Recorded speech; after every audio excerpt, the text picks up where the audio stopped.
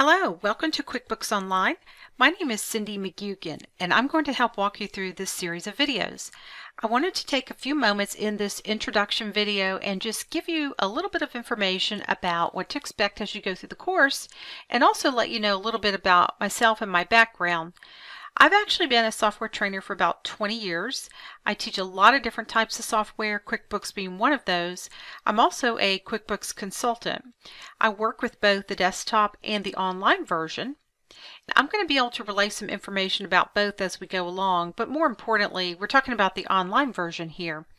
The online version has an advantage, and that is that you'll be able to access your company file from anywhere you happen to be that has internet access. If you work out in the field, for example, you might have your laptop with you or need to access it through your phone, and these are great reasons to sign up with a subscription for the QuickBooks Online service. We're going to actually take this from the very beginning. I'm not going to assume you know anything. I'm going to actually start off showing you how to go online and pick the correct subscription. We'll talk a little bit about working with QuickBooks Online and mobile devices, and then we'll take it from there and start actually setting up our company file. We're going to work with customers. That side of things is called accounts receivable. You'll need to know how to create invoices what to do when the customer pays you, how to actually put that money in the bank. We're also going to talk about the flip side, which is your accounts payable. That's anything that has to do with the bills that come in the mail that you have to pay. You'll want to track those so that you know at any time how much you owe. We're going to be going through and talking a little bit about products and services. Those are physical things, and sometimes they're a service you provide, but sometimes you buy products and you also sell products, and we need to know how to set those up properly. We'll be looking quickly at payroll. There's a lot of other things we'll look at, but I want you to have a really good foundation for building your company file from the very beginning. When you watch these videos, make sure you watch them in order. They won't make very much sense if you get them out of order. Make sure you watch them all and make sure you watch them till the very end because a lot of times there's a really good piece of information right at the very end of one of these videos. If you have questions as we go along, feel free to shoot us an email and we'll get right back to you and answer your questions. With that being said, let's go ahead and get started. We're going to flip over to section two and talk about the different subscriptions that you have available when you decide to go with QuickBooks Online.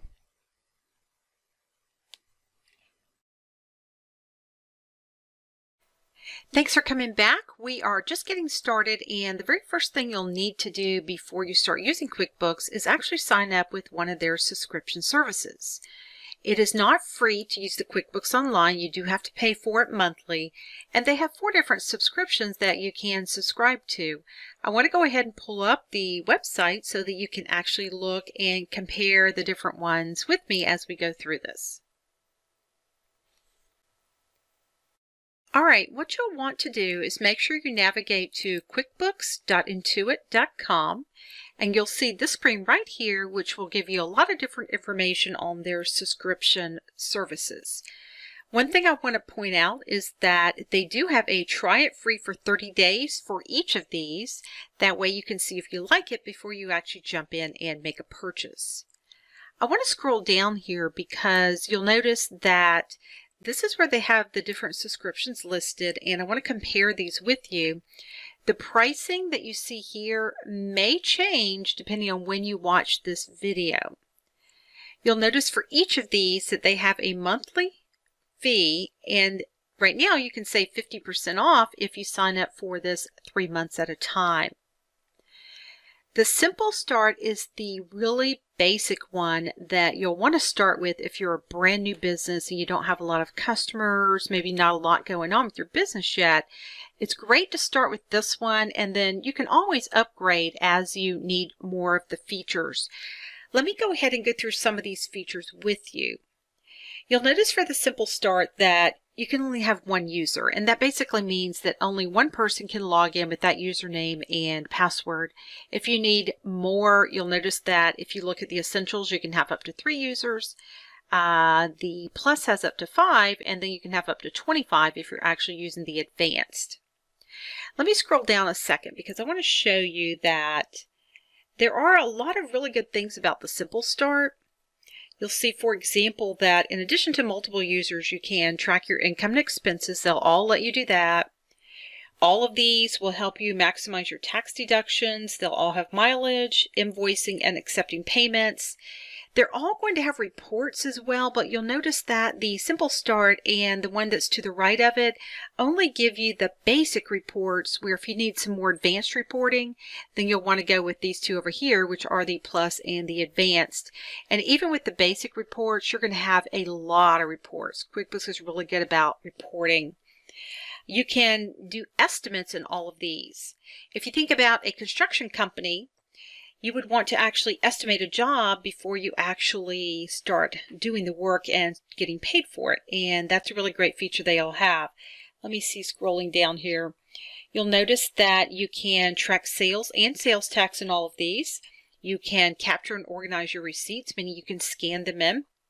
You can also manage 1099 contractors in all of these, and that's really important because those are what you call your subcontractors, and you need to know how to properly handle those. You're going to be able to actually manage the bills if you go with the Essentials, the Plus, or the Advanced. So notice that if you have the Simple Start, you can't handle the bills in QuickBooks, and to me that's really important because you want to track everything you owe because you're going to need to really stick to your budget when you first start your business. You cannot track time if you have Simple Start, or you can't do what they call tracking job profitability in the Simple Start. Even though, like I said, this is great for a new business starting out, you'll quickly want to upgrade to one of the others. Moving on to the essentials, the Essentials just doesn't have the inventory feature, the job tracking profitability. You can kind of see the things here it does not have. You can't send batch invoices. And really, if you don't do a lot of these, it may not be important to you. The one that sometimes people want is the inventory feature, and you would have to upgrade to the Plus or the Advanced to get that. You'll notice that the Plus is the most popular one, and it does not have the options for importing and sending batch invoices. It doesn't have the business analytics and insights options, but you may not need these.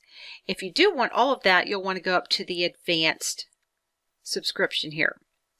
The other thing I want you to know is that you may go back and forth with these subscriptions because it could be that you add users like we saw earlier and you need to have maybe four people accessing your QuickBooks. So there's a lot of different things you need to think about and you can always call them if you're really not sure which one would work best for your business. I wanted you to be aware of that because the next thing you'll have to do is actually start with one of these and you can actually choose to go ahead and buy now or like I showed you earlier you can go up to the top of the screen and you can actually try it free for 30 days. And that's where I want to stop right now. We're going to go through and talk about setting up your company file after you pick a subscription over in Module 2. But before we do that, I want to briefly talk to you a little bit about how QuickBooks Online works with mobile devices over in Section 3. I'll see you there shortly.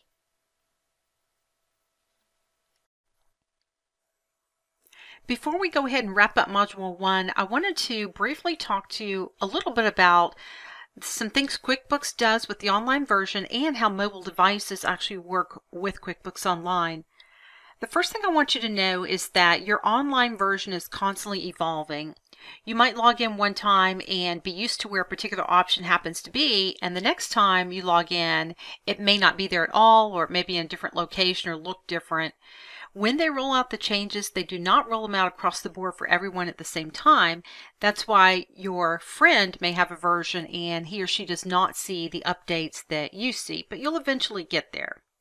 The other thing I wanted to mention is that you have the ability to use different mobile apps for QuickBooks and they sync with QuickBooks.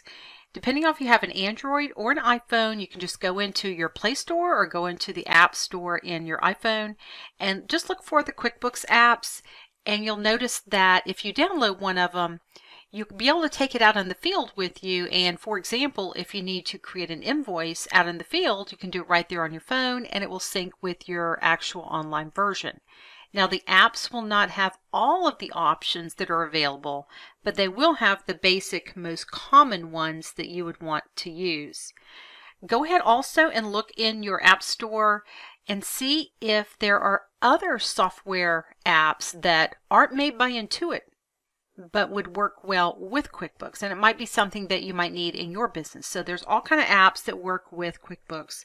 I just want to make you aware of that and if you ever wanted to just get a handle on what some of the changes are that they're making in your version, you can actually log into quickbooks.intuit.com forward slash blog and then you'll be able to see all of the changes and stay on top of what's new. That's going to wrap up Module 1. Let's go ahead and jump into Module 2 and start talking a little bit about working with the company files that you have to set up in QuickBooks.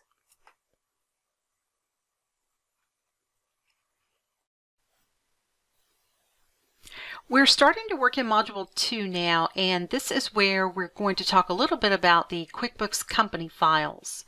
Anytime you create a file in QuickBooks, it is called a company. You can have as many companies as you would like. Often what you will see is a small business owner might set up one company with his personal information and another company that has the business information. Company files do not talk to each other. You don't have to worry about the data getting mixed up. And like I said, you can have as many as you like in QuickBooks. You have to either create a brand new one, which we'll do in section three, you might already have the desktop version of QuickBooks and you want to upload your file to the online version. We'll look at that in section two. But real quick, what I want to talk to you about here is the fact that you do have the availability of a sample file that you can go in and play with as much as you want.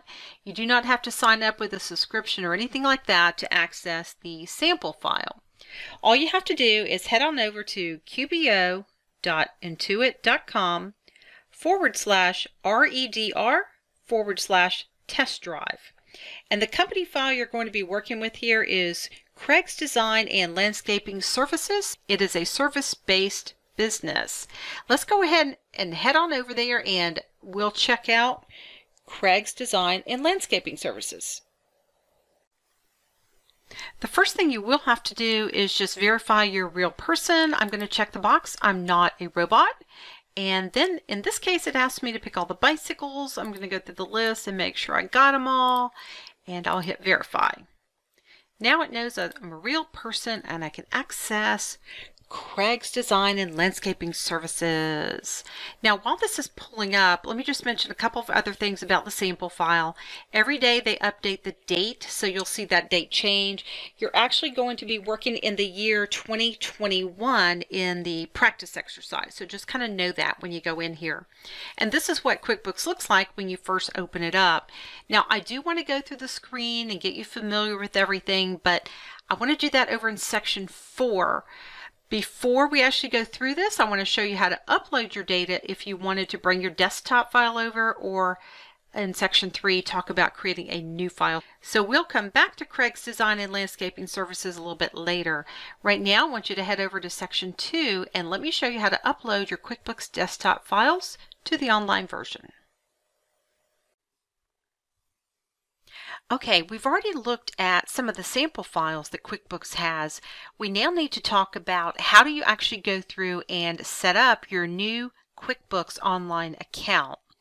All we're going to do is navigate to where we looked at the different online subscriptions over in Module 1 and then we'll go ahead and decide which of those subscriptions we'd like to sign up with, or we can sign up with a 30-day free trial. Let me go ahead and flip over and we will sign up for that 30-day free trial to show you how this works.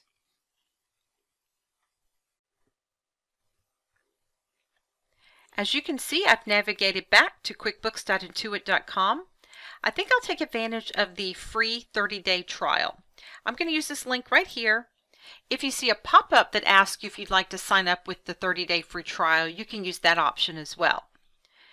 What I'm going to have to do here is create an Intuit account, and I can do this a couple of different ways. I can actually sign up with Google, and if I have multiple Intuit products, then I can go ahead and use that one login for all of them. I might also choose to use an email address and sign up that way. I think I'll go ahead and do that and use one that I just set up for this and it's got my name here. Also, it asks you to plug in your mobile number. That's recommended, but you don't have to. And the reason that you may want to go ahead and do that is if you happen to forget your username or your login information, and Intuit can help you recover that information by looking at your telephone number that you've plugged in. You will want to create a password and make sure it's something that you're going to remember, but hard enough that someone else can't actually try to get into your account. Remember, a good password anywhere in your computer will have at least 8 to 12 characters. You're going to have a combination of capital letters, small letters, you might have special characters. I'm going to go ahead and choose a sign up with email once I'm done, and this is going to create my Intuit account. I do get the option to skip the trial and go ahead and purchase my subscription, but I think I'll go ahead and continue with the trial for now. What's going to happen now is it's going to start setting up what we call our company file. Each file in QuickBooks is called a company. You can have as many companies as you like in QuickBooks. This is going to launch us through what's called the Easy Step interview, where it's going to ask us some questions, and based on how we answer those questions, it will set up all the options in our company file for us. First, we'll see some basic information. It wants to know what is the name of your business. I'm going to call mine ABC Services. And then the next thing it will ask us is to describe the type of business you do. Now, if you start typing in things like plumbing, electrical, things like that, then it's going to start pulling from a drop down list and looking for those first few characters there. And if you see something close to what you do on the list, just choose it. There's no wrong answer here, just choose something close to what you do. I'm going to pick, for example, services, and you'll notice that there are several types of services that it thinks I may want to choose from. I'll just pick professional services in this case. Another thing that you have an option to do is if you've been using the desktop version of QuickBooks and you'd like to bring that data into your online version, you have the ability to do that. You can check this box and then it will take you into your computer so you can find that file. We are going to talk over in section 3 about how to prepare that desktop file so that you can pull it into your QuickBooks Online file. I'm going to leave it unchecked for now and click Next. The next thing it wants to know is what would you like to do in QuickBooks? And you might want to do a lot of these different things. You might want to send and track invoices, organize your expenses, manage your inventory. If you have retail sales, you'll want to choose this. If you don't, you may want to leave that alone. Maybe track your bills, track your sales tax, pay your employees, and track your hours. So you can see that you can choose a few of these or all of these. I'm going to click Next at the bottom. And now it says, what is your role at the business? Are you an owner? Are you the bookkeeper? Maybe the employee? Usually the owner of the company is the one that sets up the file, or it could have been that the accountant set it up for the owner. Whichever person set it up is actually going to be the admin or the administrator of the file, meaning that you'll actually own it. I'm going to go ahead and choose owner in this case. And if I scroll down a little bit, you'll see that it says, do you have an accountant or bookkeeper right now? And you don't have to say yes even if you do have one. It's just asking you this because it's going to set up some of the options as we go down the road for the accountant if you happen to have one. I'm going to say right now that I'm just going to do it all by myself and I'm going to say all set at the bottom. And now what you have is a basic setup for your QuickBooks company file. There's still a lot we have to do because it's really a blank company file right now, but at least we have the file set up so that we can work on it. If you wanted to go through a 30 second tour to help you get down to business on QuickBooks, you can do that. I'm going to go ahead and close that out. And then that is what it looks like when you first log in. You are on what's called the dashboard right now. And a dashboard is just a quick way to see an overview of how different areas of your company happen to be doing. Now I do want to take time and go through this whole what we call user interface here. I want to do that over in section 4. So right now, let me show you how to log out and then where to go to log back in. If you notice in the top right hand corner of your screen, you have a gear icon and you can use the sign out option right here and that will go ahead and take you back to this screen. Now let me navigate away from this and then we will come back and you will see how to log back in. So I'm at Google now. And when you're ready to log in, you want to go to quickbooks.intuit.com, which is where we were earlier when we first created our account. And this time you want to go over here where it says sign in. Notice that you'll sign up with the particular one that you actually subscribe to. If you haven't subscribed and you're still using that 30-day free trial, just use the QuickBooks Online option, which is the first one. And then that'll take you back in and you'll be able to log in right over here. And that's all you need to know right now as far as setting up your company file. Well, let's go ahead now and talk real quick over in section three about how to actually go ahead and upload your QuickBooks desktop file if you wanted to bring it into your online account. If you happen to have been using the QuickBooks desktop version and now you'd like to pull that data into the online version, there's a little process you need to go through. And once you go through the process, then you'll want to run some reports to make sure that all your data pulled in. Let me go ahead and show you how this process works. What you want to do is open up your company file in the desktop version and then go to your menu and click on Company, and down near the bottom you will see Export Company File to QuickBooks Online. If you don't see that option, what it means is that you have some updates that you need to do in this version of QuickBooks before you can export this. In order to do those updates, just go to Help, and you're going to see it'll say Update QuickBooks right here. Now go through that update process and when you're finished, close the company file, then open it back up. And when you do, you should see the option to export your company file to QuickBooks Online. Now what's going to happen here is it's going to ask you to log into your online account. Once you click start your export, here's where you have to log in. So I'll go ahead and put in my email address again gmail.com and I'll go ahead and put in my password and I'm going to sign in.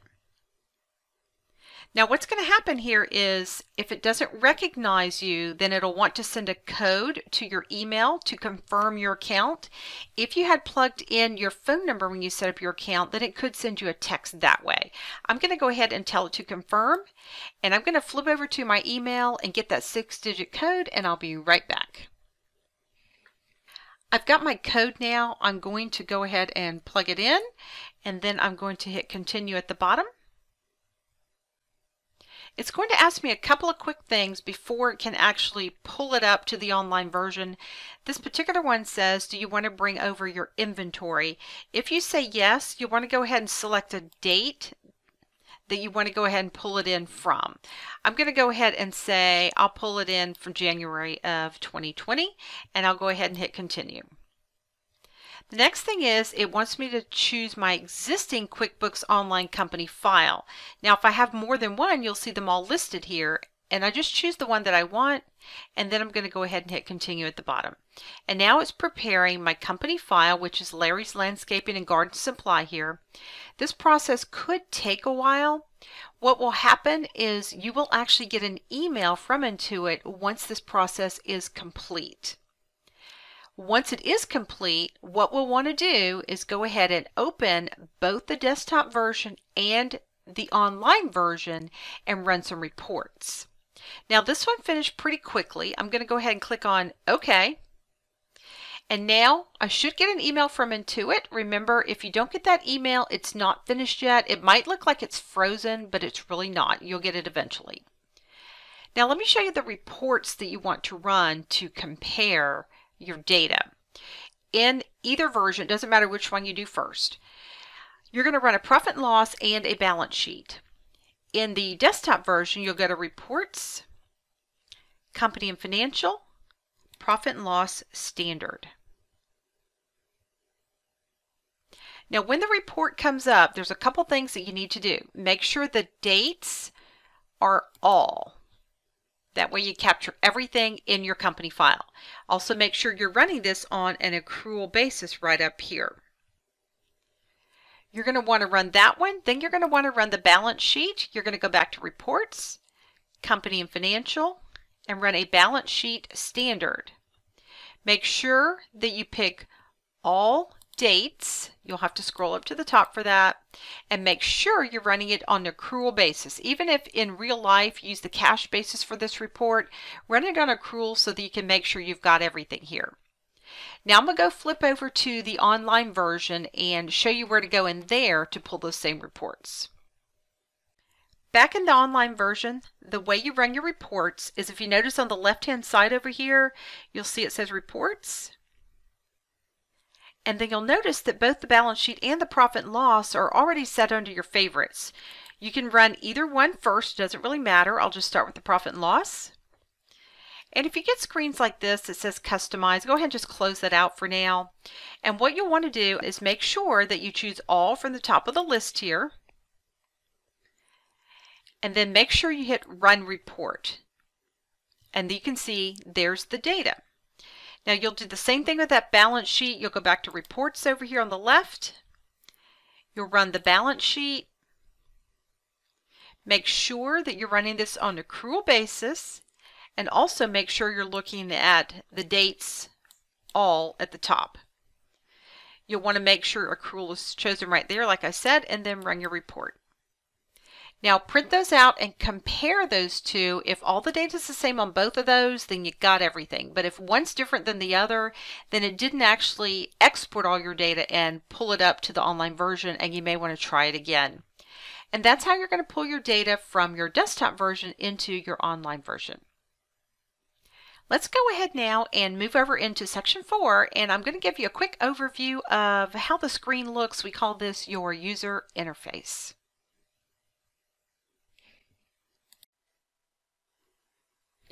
Okay, what I'd like to do in section four is go ahead and give you a quick overview of what the user interface looks like. Basically, the screen, when you pull it up, what is it you're seeing and how do all those pieces and parts work? Let's flip over to QuickBooks and I'll give you a quick overview. When you first log into your company file, you're going to be on what we call the dashboard right here.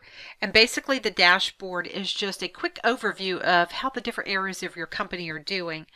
A couple things you'll notice, you have the ability to add your logo. You can just click here, search your computer for your logo and pull it in. There are some things over here that it asks if you'd like to start doing. You can click there. So if you wanted to start invoicing, for example, you could choose that option. You can also go ahead and set up some payments, send your first invoice, and swipe cards in person with your mobile app if you happen to have that set up. Now, some of these things are not free. They are fee-based, meaning that Intuit will sell these to you. So for example, if you'd like to be able to accept credit cards, then they can set you up with a merchant services account. You'll notice down here are all of your invoice options. So think of this as your accounts receivable. This would be the amount of invoices that you have outstanding that have not yet been paid. Over here are your expenses. Those would be the bills that you've put in. You would be able to see any of those that you had not paid yet as well. So think of this area as accounts receivable and this as accounts payable here. Where it says profit and loss, that is the most important report in QuickBooks because it will tell you if you've made money or if you've lost money. And then over here, you'll just see all of your bank accounts. And if you wanted to click on one, you could. Let's say, for example, I wanted to go to my checking account. This one here is called checking. If I double click and open it up, that'll take me directly to the checkbook register. Now I'm going to close this message real quick. We're going to spend some time in the register a little bit later, but that's a quick way to get into the register. Now if I wanted to go back to the dashboard, all I have to do is come back over to my navigation pane, which is what this is called, and click on the dashboard and I'll be back to where I just was. This is called the navigation pane on the left. If you went down to banking, you would see all of your banking options. I'm going to click on banking here. And what this is going to show me is how to actually set up my account so that it is connected to the bank and I can pull in my transactions. Now, I'm going to talk about this a little bit later, but you don't always want to do this. If you are actually using the invoicing feature in QuickBooks like you should and receiving payments or if you're using the bill feature and paying the bills correctly, then you don't want to enter information twice. So you can set it up, but you're not always going to want to pull in data from the bank. Now, if you had a credit card, it would work perfectly. Now, I know that probably doesn't make sense yet, but we will talk about some of that stuff a little bit later on. Over under expenses here, expenses are things that you have to pay out. You had to enter some bills, you wrote some checks to pay those, maybe use the purchase order system. You can kind of see all that right down here. The next thing is your sales. These are the things that you actually sell to your customers. You'll notice that under sales, I can look at invoices. I can also look at my customer list as an example. And I'll just show you what that looks like real quick. This is going to be a list of all of your customers. And you can see that they're set up alphabetical, in this case, by last name. We're going to spend time on customers a little bit later, but that's how you get to the customer list. You also have different projects that you might work on. In the desktop version, they call these jobs. In here, they're called projects. You might have a particular customer you're working with, but you might have multiple jobs or projects going for that customer. Under the workers option, this is where you're going to find your payroll options. There's a ton of reports we're going to be looking at a little bit later. You've also got a place where you can go in and look at your sales tax and also payroll taxes if you're doing payroll through QuickBooks.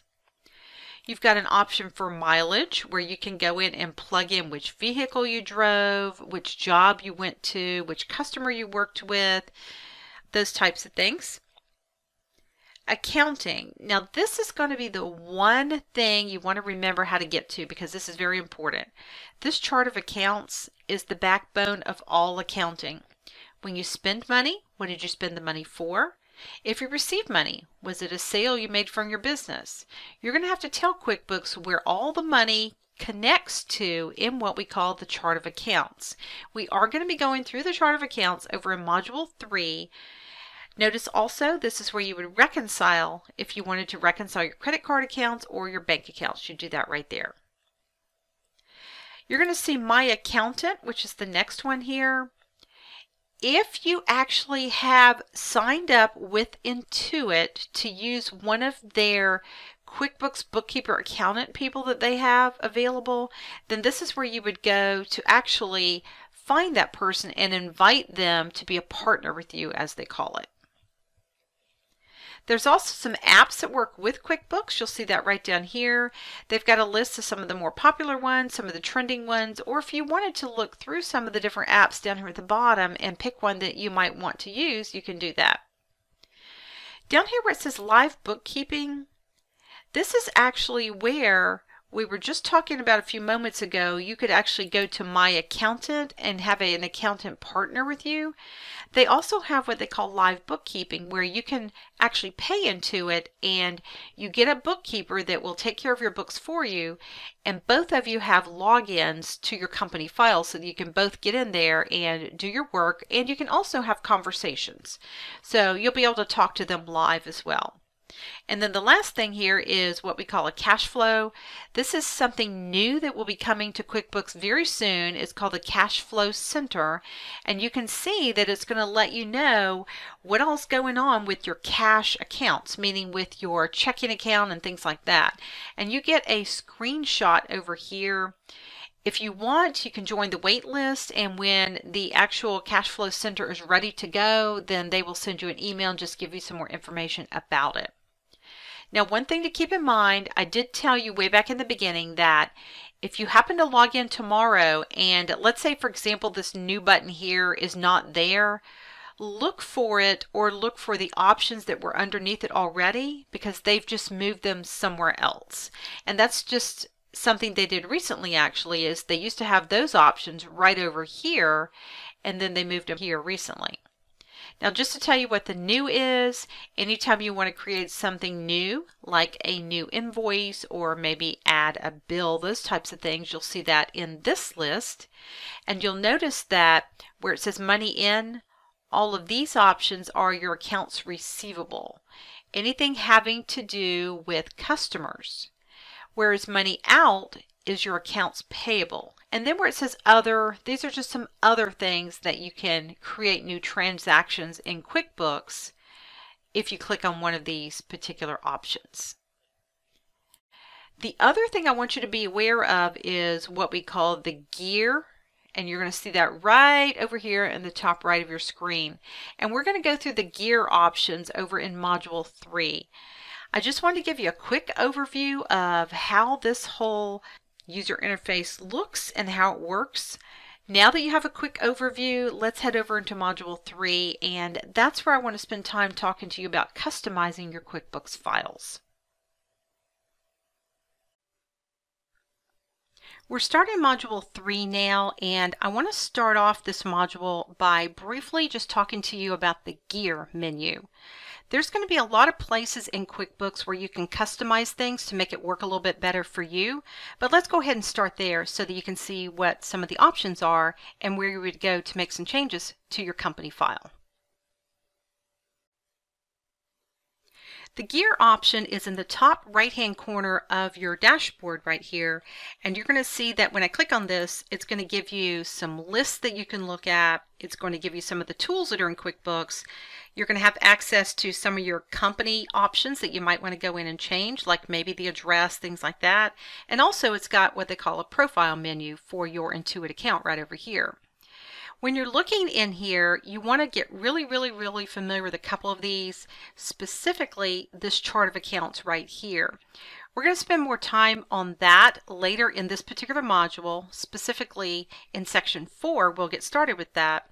But everything in QuickBooks will run through the chart of accounts. That's why it's so important that you know where that is. Don't confuse the gear icon with this new option way over here. This is where you're going to click if you want to create a new transaction. Maybe you need to create an invoice, maybe you need to create a bill, maybe you need to do something like track your mileage. Those are all new transactions you could create. Just recently, they've moved this new button over here and renamed it. It used to be right up here and everyone got confused between the gear icon and this. Now they've moved it way over here so that you don't get confused anymore and it says new meaning new transaction. That's really all I wanted you to know about the gear menu right now. What I want to do now is take you over into section 2 where we're going to use the gear icon to go ahead and customize some of the options for your company file. In section one, we got familiar with the gear menu. There were lots of different options in there that you can use to customize how your company file works. And I want to take you into the gear menu now and into some of those options and show you how to customize some of those different things so that your company file works best for you. Let me go ahead and flip over to QuickBooks and we will dive right in.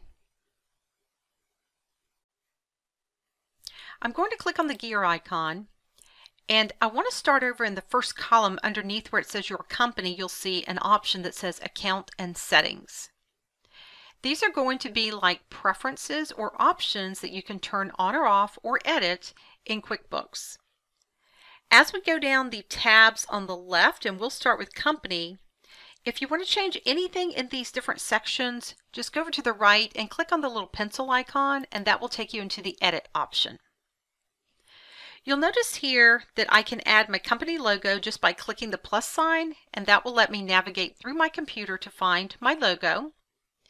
I could edit the name of the company if I like. Also, you might want to put in your EIN number or your social security number.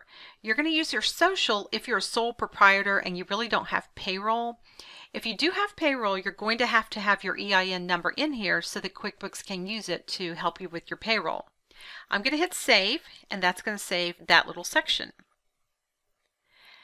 The next little section says company type and you'll notice the first thing is the tax form and then the industry.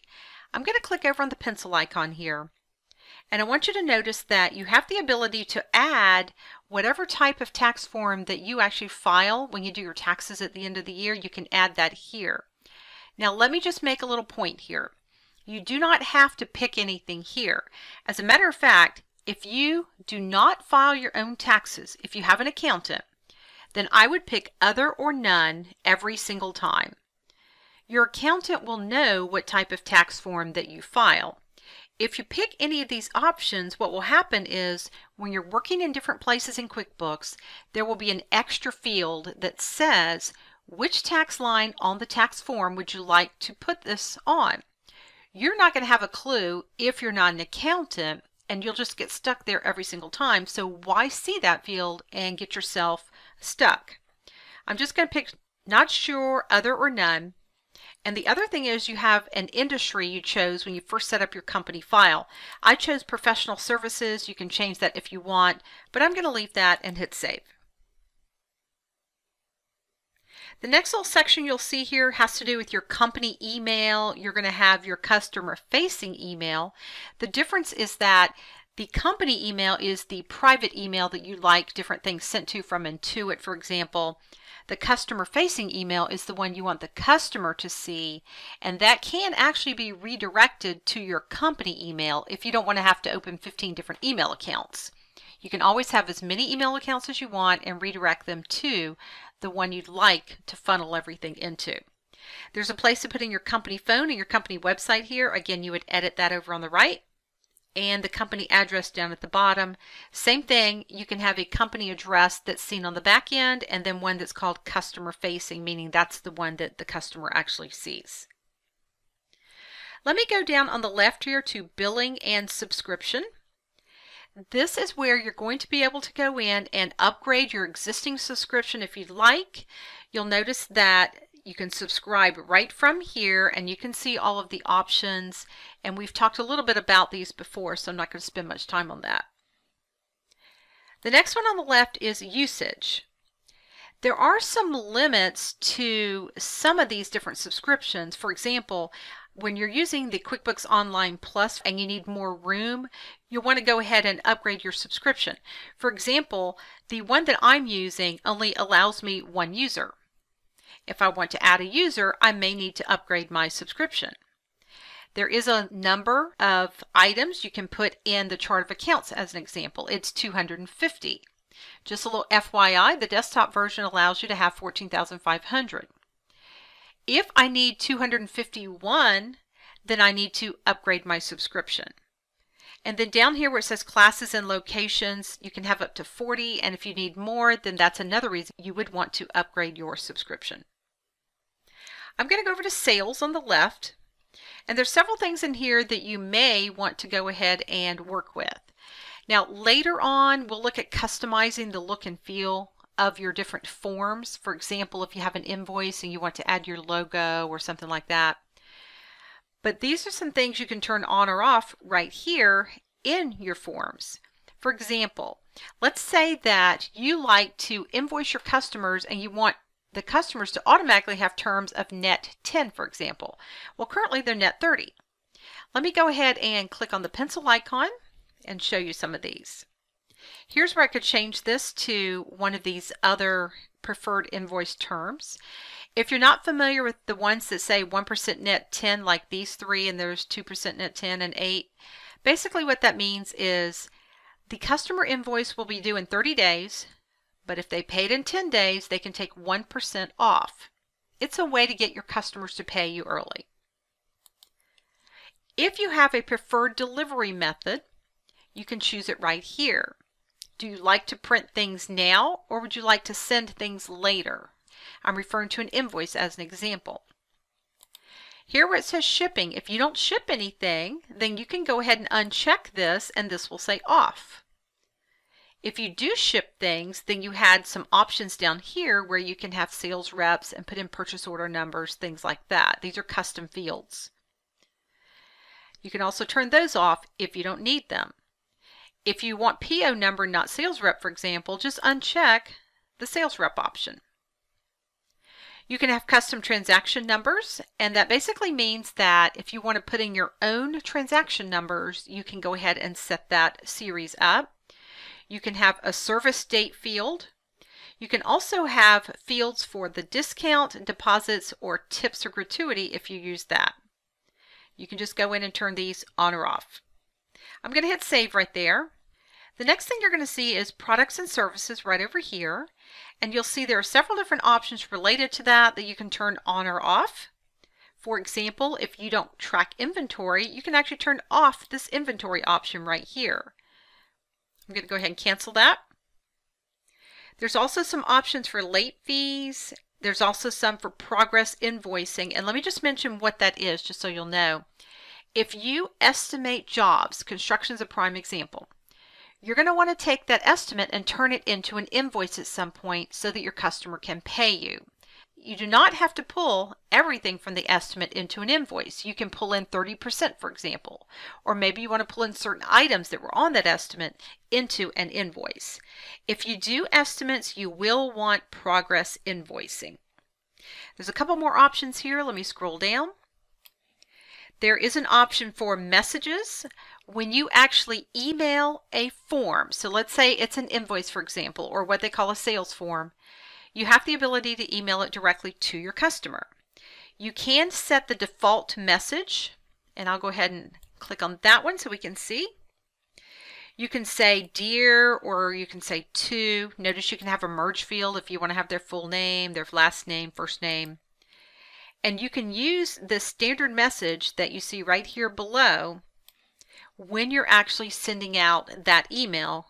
You can also have a copy emailed to yourself every time if you'd like. I'm going to go ahead and hit save down at the bottom. A couple more things I want to point out. You'll notice that there is an option for reminders and I want to briefly tell you how reminders work but before we do that, I think we'll go ahead and stop the video right here. Let's go over into the next section and I'm going to talk to you a little bit more about some of these other options here for account and settings. Hey, welcome back. Let's go ahead and finish up talking about customizing your company file. This is actually part two of section two.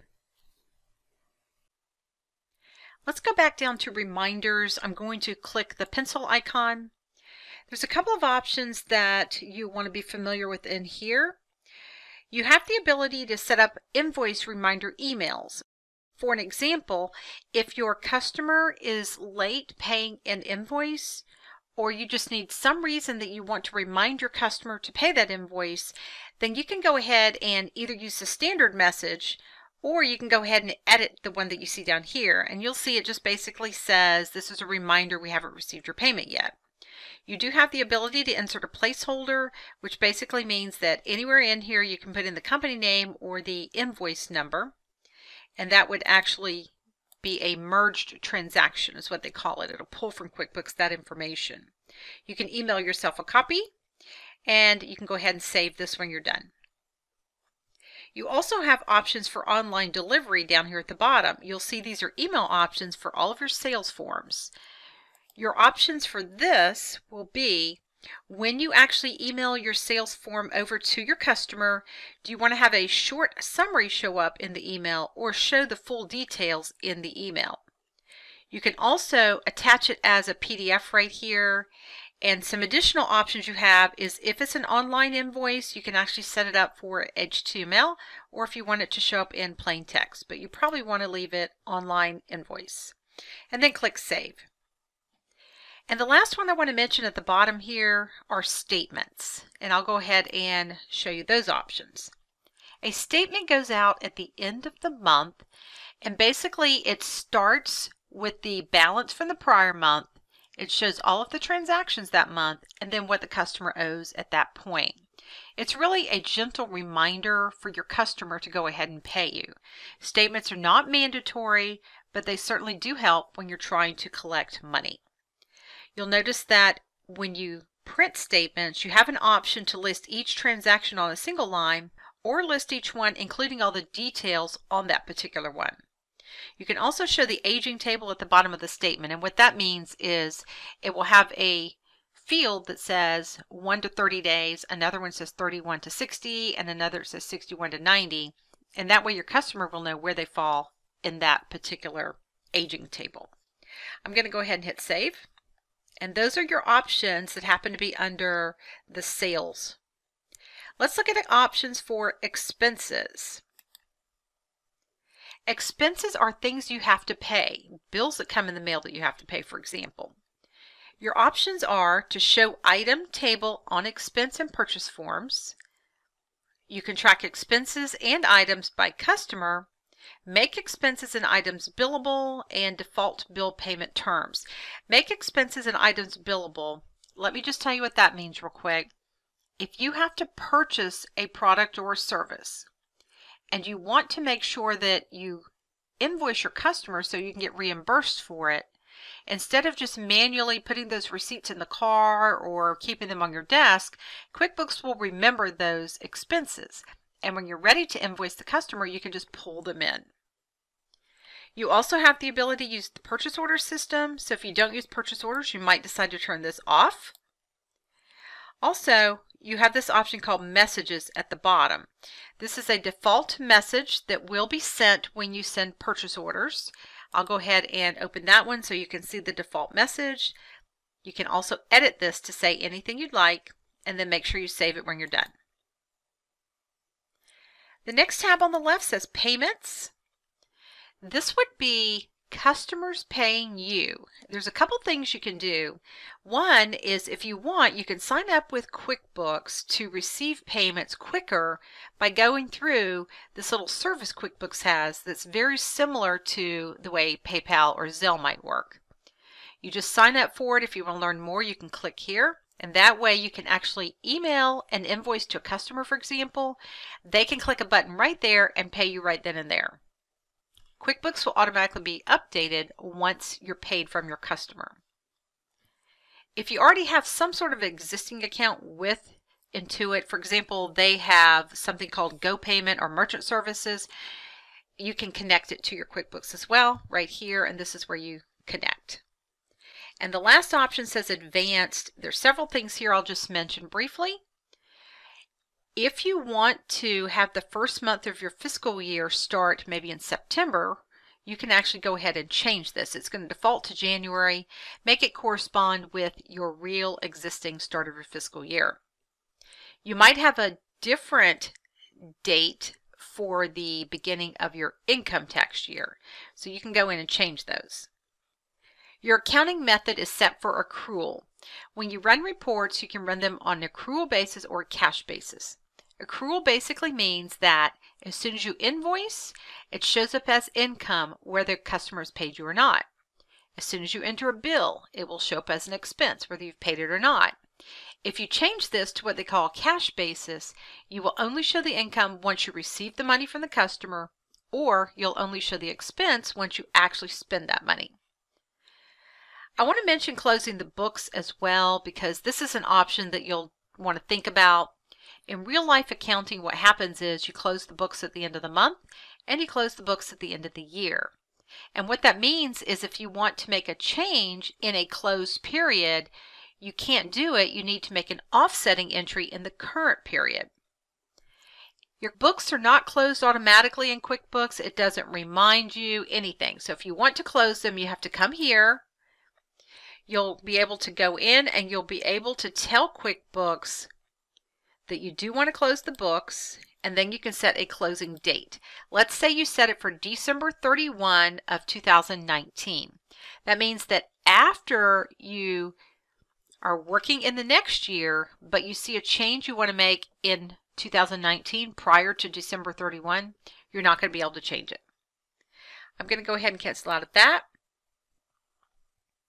We talked a little bit about tax forms earlier. You want to make sure you keep that one. Also, the chart of accounts. I know you haven't seen it yet, but basically everything in QuickBooks will run through this chart of accounts. And currently they do not have general ledger numbers. They're just a list alphabetical per each type. If you want to turn on general ledger numbers, you can turn them on right here. Also, you have some options for the markup income account, and we'll address that a little bit later. Let me mention real quick the track classes and the track locations. Locations means if you have different physical locations for your business, you can turn this option on and every transaction that you work in, you can choose which location you want that to go to. Classes is very similar except it's not really locations. Think about this. Let's say that you happen to have two different divisions of your company. You might use those for your class list and everything you do make sure you pick the correct option from the list. There's some things about forms where you can have it pre-fill automatically, automatically apply payments, things like that. You might want to look through that at some point. A project would be like a job related activity. You'll notice that you have the ability to organize all of those job related activities in one place and that is turned on. You're also viewing QuickBooks in the business view. There is an option to go ahead and also see this in what they call the accountant view. Time tracking. If you want to be able to track the time that you or your employees spend working on different projects or jobs, you have the ability to do that. You can also come down and change the currency. There's some date options and things like that all the way down here. That means there's a lot of options in here that you can go through and set. You're going to want to look through these. You don't have to get them all right away, but at some point if you want to set these, you just come back in and make all these changes. I'm going to go ahead and close that with the X at the top right, and that's going to take me back to the dashboard. Let's go ahead and now move over to section 3 and I'll show you how to manage users. One of the things that you will want to do is make sure that each person that is using QuickBooks has their own login. You'll give each person their own username and their own password. Only the administrator can add, edit, or delete users. You can have up to five users in your QuickBooks file. If you need additional ones, you can think about upgrading your subscription or purchasing those additional ones that you might need. The reason you want to have these additional users set up is because if you want to track down errors, then you'll want to know who was logged in at the time that that particular transaction was changed.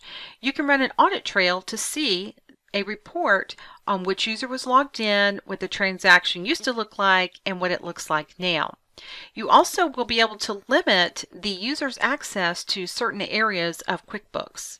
Let's go ahead and flip over and I will show you how to manage the users. Keep in mind that the administrator has to be logged in in order to work with the users. I'm going to go up to my gear icon in the top right hand side of the screen and in the first column you'll see an option that says manage users. The first thing I want to point out is that normally if you're using one of the basic subscriptions, then you only have five what they call billable users in your plan. And like I mentioned earlier, you do have to upgrade if you want to have additional users. The admin is considered one of the five users, and you can see here is the admin name. If you wanted to edit the admin information, you can choose the edit over on the right and then come over here to edit user settings. Typically, when you first set up QuickBooks, you're going to see the email address that you signed up with right here under the first name field, and there won't be anything where it says last name. You could come up here and change those like I did. I'm going to go ahead and hit save at the bottom. If you want to add a user, just come over to the right here and click on Add User. Your user that you're setting up can have what they call standard rights, which means that you can choose to give them full rights, but you can also choose to limit their access to certain areas. Or you can give them company admin rights, which means they have access to everything. These options up here count towards your five user limit we discussed. These here don't because you might have someone you want to be able to log in just to run reports or maybe just to do time tracking. I'm going to go ahead and choose standard user at the top and click next in the bottom right hand corner of the screen. The first thing it asks me is how much access do I want to give this user? Now if you say all, notice it will include payroll and it will check that and you can see all the different things they have access to over here. If I go ahead and uncheck that, you'll notice that the things they don't have access to do are down at the bottom. They can't add or edit employees in this case or delete payroll transactions.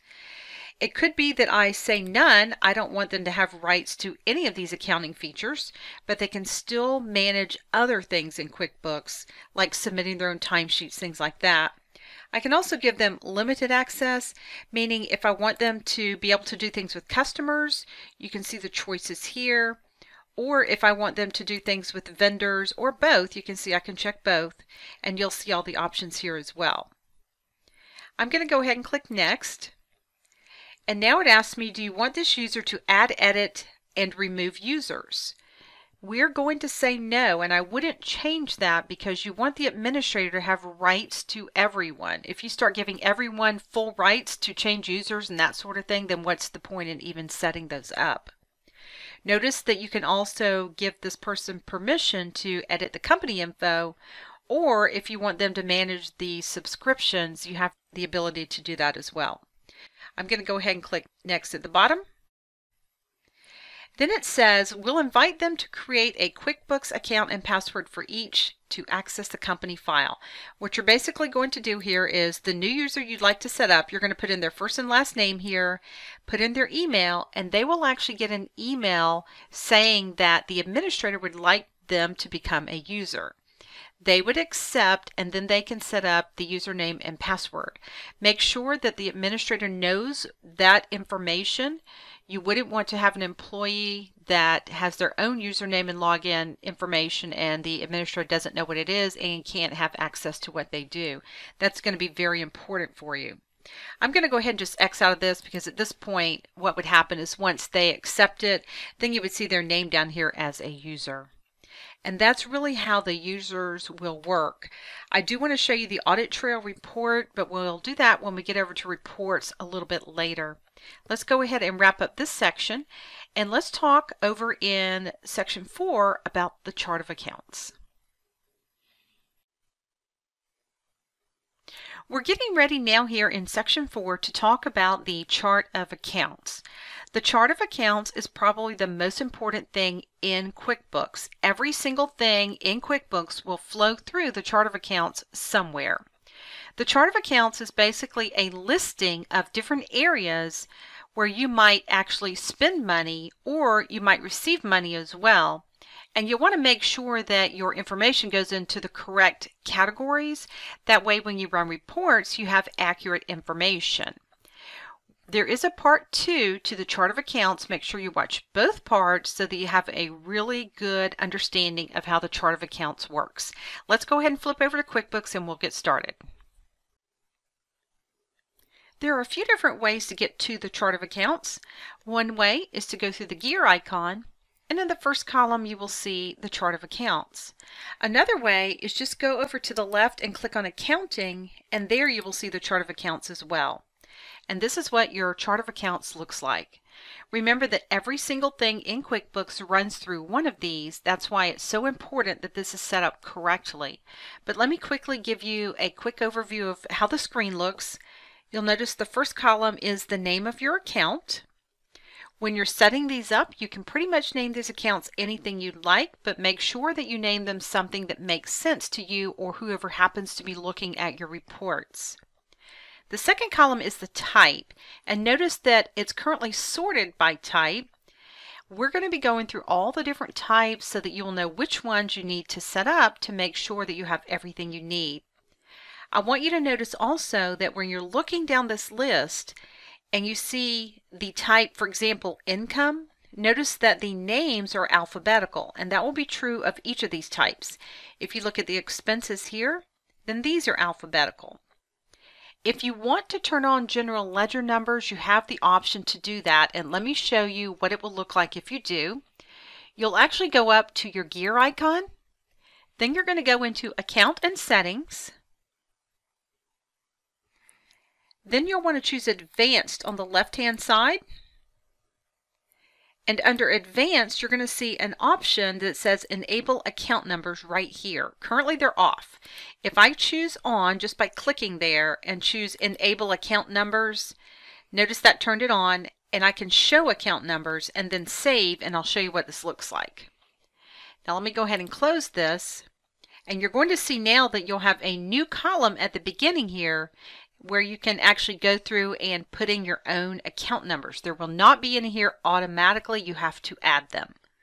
The way you would add them is the way you would edit any of these accounts. Just come over to that line that the account you want to edit is on. You'll see a down arrow and you'll choose edit. And in this window, you have the opportunity to add your new account number right here. I'm going to go through this screen in a minute, so I'll just close that for now, and I'm going to go back and turn those account numbers off for just a moment. Account and settings. It's going to be the advanced option on the left. And I'm going to go ahead and turn off enable account numbers just by clicking that word on and I'll uncheck these and save that. Now let's go back and finish going down our list here. The next column that you're going to see next to the type is going to be the detail type and that's just telling you a little bit more information about the type that you chose. There's also the QuickBooks balance and the bank balance. The QuickBooks balance would be if you had entered some transactions in QuickBooks, what is that balance for that account? The bank balance column will allow you, if you pull in your entries from the bank, that's called downloading your transactions, then you'll see what that balance is as well. And you can see that you can match those up and see if you're in sync here. And we'll be getting into that a little bit later.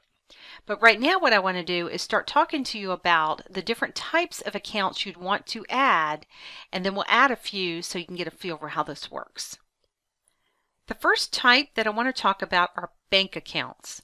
You'll notice there are no bank accounts at the top of this list. That means that right now you do not have a checking account, you don't have a savings account, any kind of bank account. You have the ability to add these. You're going to be doing this by clicking over here where it says New and the first thing you're going to do is pick the account type. In this case, it will be bank, but notice all the other types we're going to be talking about. Where it says detail type right here, just go ahead and pick the option from the list that closely matches the account type you've chosen. Over here is the name of the account. When you name your account, you can name it anything you want. If you want to call it your bank name, you could do that. If you want to call it operating account and maybe another one called payroll account, you can do that. Just whatever you like to name it. I'm going to go ahead and leave it on checking for now. Description is totally optional. And there's not a sub account right now, but later on I'll talk to you about how sub accounts work. The other thing you want to think about is a start date to start tracking the money in this checking account. Now what you want to do is, if it's the beginning of the year like it is currently, then you probably want to go back to January 1 or the beginning of your fiscal year and put in all the entries. If that's the case, then you can choose beginning of this year. You might decide if it's later in the year and you're starting your QuickBooks file to go ahead and start with the beginning of that current month. You can also pick other. The reason you might want to pick other is what if you have a bank statement that cuts off in the middle of the month? That would be an option where you can tell it a specific date to start with. It really doesn't matter what date you start with, just try to make it correspond to the start date of your bank statement. I'm going to go ahead and say beginning of this year and I'm going to go ahead and put in the balance. The ending balance on 1231 of 2019 would be the exact same number as the beginning balance of 1 1 2020. You'll want to get that number from your bank statement. I'm going to go ahead and say it was $250.62 and I'll go ahead and hit save and close at the bottom. And now you'll see at the top you have a checking account and you have a balance of 250 and 62 cents. You also have the ability to view the register. I just want to show you that real quick. If I come over here to view register, then this is what the checkbook register actually looks like. I'm going to close this. This is just some information on what a register looks like and what it's supposed to do. Anytime you want to go back to the chart of accounts, you'll notice right up here it says back to chart of accounts and that's going to take me back to the screen.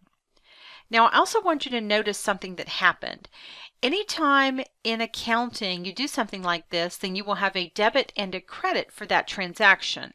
You'll notice that in this case, the flip side of the money went to an account called opening balance equity. And that's the way it should be. You can't change that. Just know that whenever you have a starting balance, which could be a minus number if you have a loan, but this is going to be an actual picture of what your books look like. So don't freak out if you see a negative number there. It's an accurate picture of your books. Let's go ahead and talk about some other bank accounts. You obviously would have savings, money market accounts, things like that. But think about do you have PayPal? Do you accept Square? Those are bank accounts as well. So if you do accept those, then you want to set those up as bank accounts. What would eventually happen is you would transfer money from PayPal or Square into your checking account, or sometimes you go the other way, but those are just bank transfers. The next type I want to talk to you about are your assets, and you'll see there are a couple of these here. An asset is something that your business owns that makes it more valuable. You're going to have equipment, you're going to have chairs, desks, lamps, vehicles, property. Assets fall into one of two types. There are fixed assets, which are things you plan to keep long term, like the vehicle or the property. Then there are what we call more liquid assets, or QuickBooks calls them other current. Inventory is a great example of that because I'm worth more right now because I have inventory in the back room, but my goal is to sell it and get it out the door. Now what's going to happen with assets is you're going to set up big bucket categories. And what I mean by that is instead of listing each vehicle the business owns, you're going to have a category called vehicles and they'll all dump into that one category. You don't want to have a hundred different categories for your assets because no one wants to sit there and look at that. Just have big buckets, maybe seven to 10 good ones. Some of the common ones that I see are vehicles. You might have one called furniture and fixtures. You might have one called property if you have a lot of property. You might have equipment. But again, they're just big buckets. This is where the accountant's going to be very helpful to you because the accountant's going to help you decide which categories to set up. And also when you start talking about the money part, then the accountant's going to help you plug in how much the vehicles were worth and depreciation and things like that. QuickBooks does not do depreciation, and that's because there are multiple ways to do it. If you had 10 accountants, they might all tell you a different way they want it done. So just know you want to have the account set up so that if you go to the bank to get a loan, for example, the bank will know that you do have some assets. We're going to move down the list, but before we do, I want to go ahead and stop the video here and have you go over into part two, and we will continue talking about the different types that you'll need to set up. We're in section four and we've just talked a little bit about how to start setting up some of the accounts in your chart of accounts. I want to go ahead and finish telling you how to set up the rest of those accounts. So let's flip over to QuickBooks and we'll keep going. The next type that I want to talk to you about are what we call your liabilities. A liability is something you owe. Now, I'm not talking about the monthly payments you have to pay for the electric bill, things like that. What I'm talking about is a loan you've taken out of the bank. When you think about your liabilities, there are really two types. There are what we call long-term, which are things that you're going to pay on for more than 12 or 13 months. And then there are short-term, which is under a year basically, and QuickBooks calls them other current liabilities. When you set up your liabilities, you want to set up a separate one for each loan that you have. And when I say loan, it could be a car loan. It could be you as the owner decide to set up a loan where you put money into the business and you want to get paid back. You might have borrowed from the bank. Those are all different liabilities you want to set up and each one should be set up separately. Let's set up a car payment so you can get an idea of how you would set up these accounts. I'm going to click on New and the first thing it asks me is to pick the account type. Here, you're going to see your other current, which is the short term, and your long-term liabilities, which is what I'm going to choose in this case. Another thing to notice is that where it says detail type, if you see notes payable, that's just an accounting term for a loan basically. Over where the name goes, this is where you're going to pick the name that you want for your loan. I'm going to call mine the Bank of Any City, but you can call this anything you want. Sometimes what I'll see people do is put the last couple digits of their account number here just so that they can see which loan they're looking at when they have it pulled up in front of them. Description is totally optional. This is where you might say that this is my 2019 Jeep Cherokee loan, or you can leave it blank. And then we're going to have to pick a start date. Now remember, if we're starting your company the beginning of the year, what you'll want to do is for your beginning balance here, find out what the amount you owed as of, in this case, January 1 was so that you can plug that in. It's not the amount you started with when you purchased the vehicle two years ago, it's the amount you owed as of the start date of your company file. I'm going to put $15,000 in here and then hit save and close at the bottom. And now what you're going to see is that you have a loan right here. Notice it says Bank of Any City and the balance is $15,000. Every time you make a payment on the loan, this is the account you want to put it to.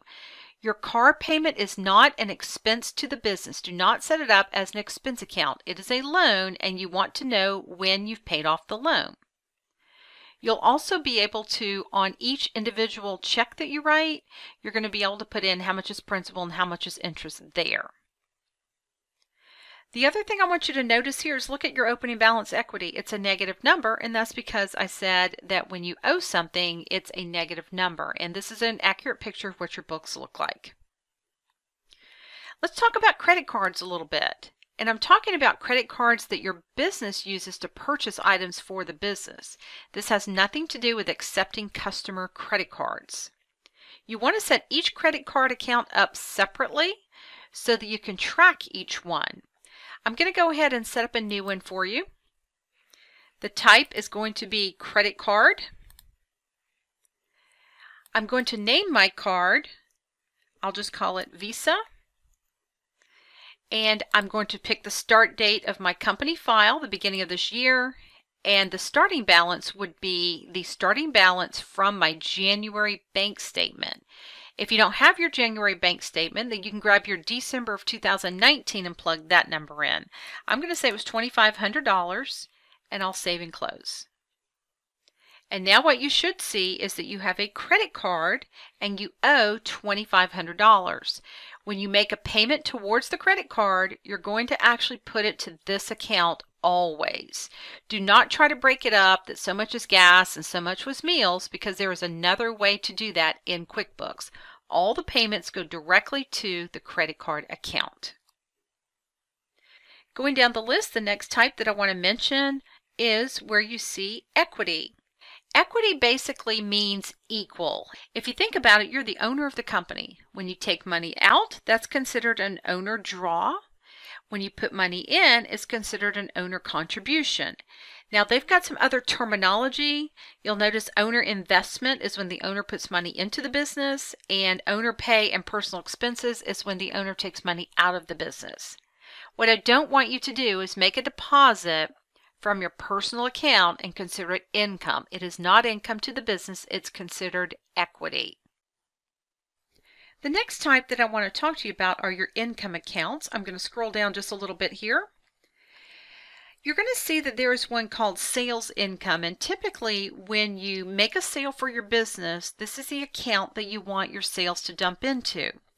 You can have a few extra ones added if you'd like. Maybe you have different areas that you do business in and what I mean by that is in your company, maybe you have different things that you do, and you'll want to actually set those up so you can see how much income you're getting from each one. That's certainly okay. Keep that list pretty short though. No one wants to read 50 different lines of income accounts. But sales is normally where you'll see most of that go into. The next thing I want to mention is your cost of goods sold. Think about the things that you have to buy to make a product or service in your business. You have to buy materials. You're going to need subcontractors sometimes. Maybe you have freight that's part of that. Anything that you have to buy to make a product or service in your business is considered a cost of goods sold, and you want it to show up on a profit loss as being deducted from your total income. The largest grouping that you're going to see are your expense accounts, and you'll see there are a ton of these here. You'll also add a lot of these. Let me show you how to add some sub-accounts so you'll see how this works. Let's use car and truck as an example. We have the main account here, but I want to add a sub-account called gas and maybe another one called repairs and maintenance. All you're going to do is go back up to the new option in the top right of your screen here you are going to create a new account and it has to be the same type as the main account. So that means this one has to be an expense account. And in this case, it is auto and I want to name this one fuel. What I'm going to do is check it's a subaccount of, and then from this list here, what I'm going to end up picking is car and truck. So see how that fuel is a subaccount of car and truck. And when I click Save and Close at the bottom, I want to show you how subaccounts look. See how fuel looks like it's indented a little bit? That's a subaccount. And there's going to be a lot of these you'll want to add. When you're going down this list, think about insurance. You might have general liability. You might have auto insurance. Those would be subaccounts of insurance. Going down under legal and professional fees. Often what I'll see is accounting and the attorney will be subaccounts of legal and professional fees. And you can just come down and make this list look any way you want. There's utilities at the bottom. You'll want to have telephone underneath, gas and electric, any of the utilities that the business pays. That's going to give you a quick overview of setting up your chart of accounts. Make sure you spend some time on this and get it set up the way you want it. You want it to be as detailed as you need it to be to get your numbers, but don't make it so detailed that no one wants to read it. You can always set up accounts later as you go along as well because you're not going to catch them all right away. Well, that's going to wrap up the chart of accounts. Let's go ahead now and move over into Module 4 and we're going to talk a little bit about working with accounts receivable and we'll start with learning how to set up customers.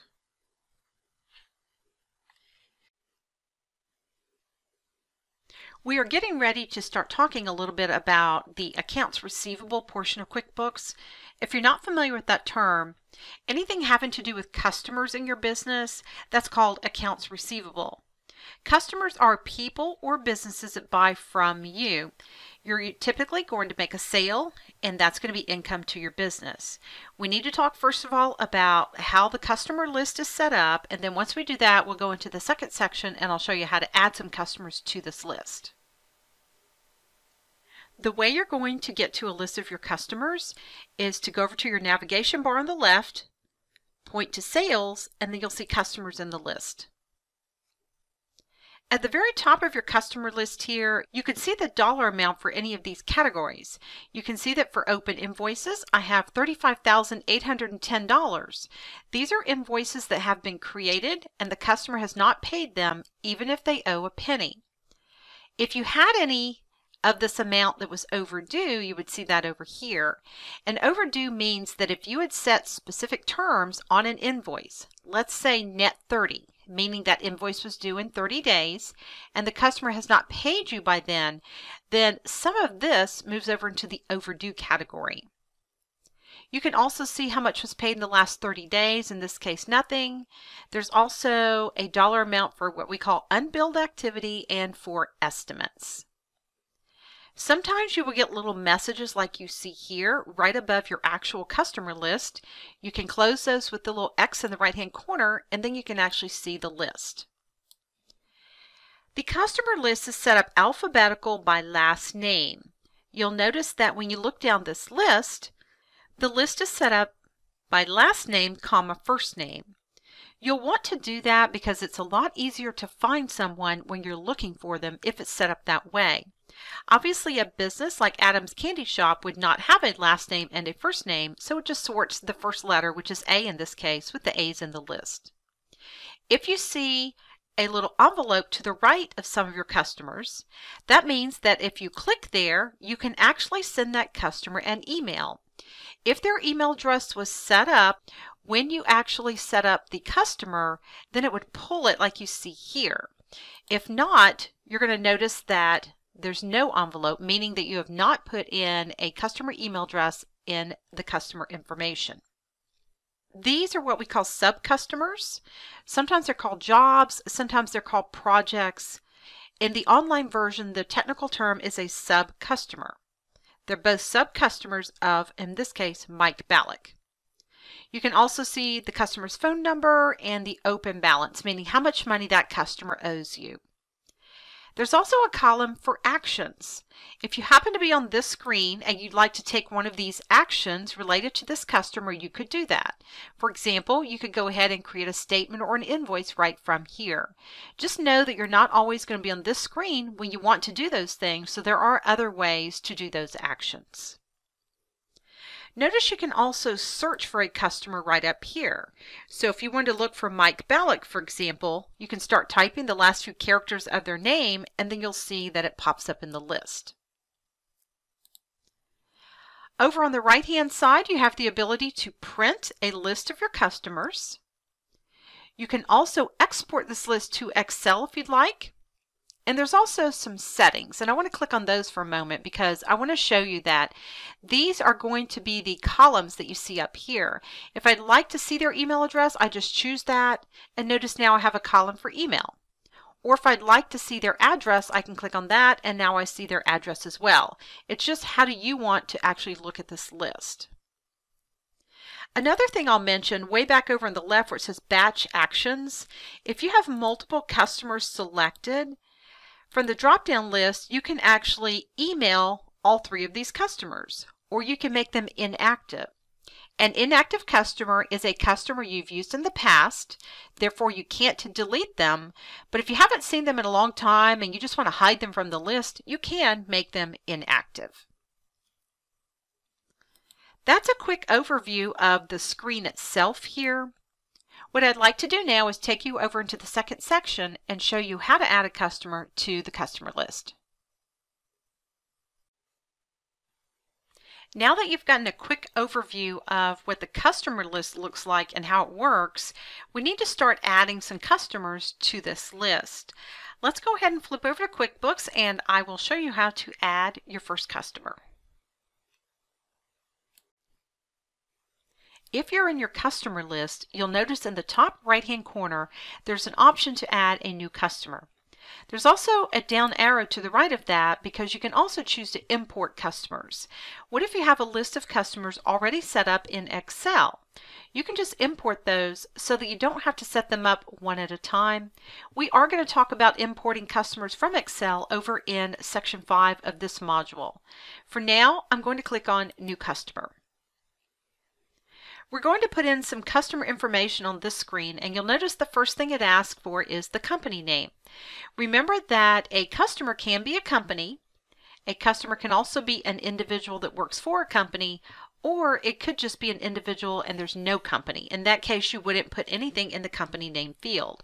But I'm going to go ahead and put in this customer's company. It's BRC Supplies. And you'll notice that because I typed a B, it starts pulling down a list of different companies that it's found and their addresses. So if I want to just choose one of these, I could. But since I'm typing this in from scratch, I'm going to go ahead and just click over to the side somewhere, and then I can come back over and finish filling this out. This customer's name is Tom Allen. And notice it now has a display name as Tom Allen. You can change that display name to show as the company name or last name comma first name. Display name means the way you see it in the list over here. Remember we talked about the easiest way to find customers is to type it in last name comma first name.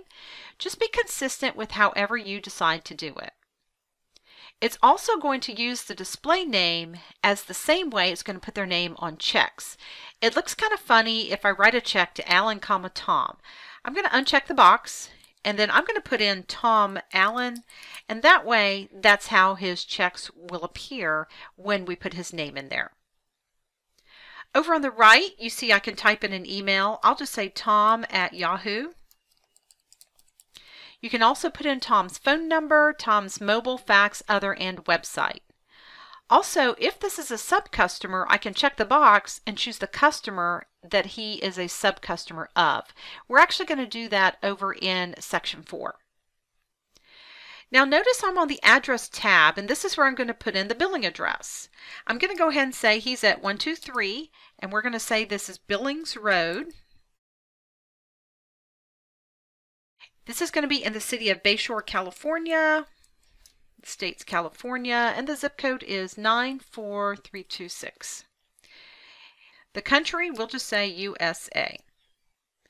Now you'll notice that the shipping address is the exact same as the billing address. If you don't ship anything, you don't have to worry about that. But if you do, they may want their invoices going to one address and the actual things you're shipping going to a different address. You can uncheck the box and change that information if you need to. I'm going to go ahead and hit save and let's see if Tom Allen is in the list. He should be in here as Allen, comma Tom, and he is. You can see it right over here. Now I want to mention a couple of things. When you're in this list, if you have a customer that you accidentally put in, you cannot delete that customer. The online version of QuickBooks lets you make a customer inactive, meaning you hide them from the list, but you cannot delete them. Now what you're going to see is all of the information you had set up about Tom Allen. Notice a couple of things. You can add some notes if you want to this customer's record. I'll just click add notes just to show you. Let's just say that we can put in here this is a new customer for the year 2020. And that's a note. That's all you have to do there. And now that will show up anytime you want to see that.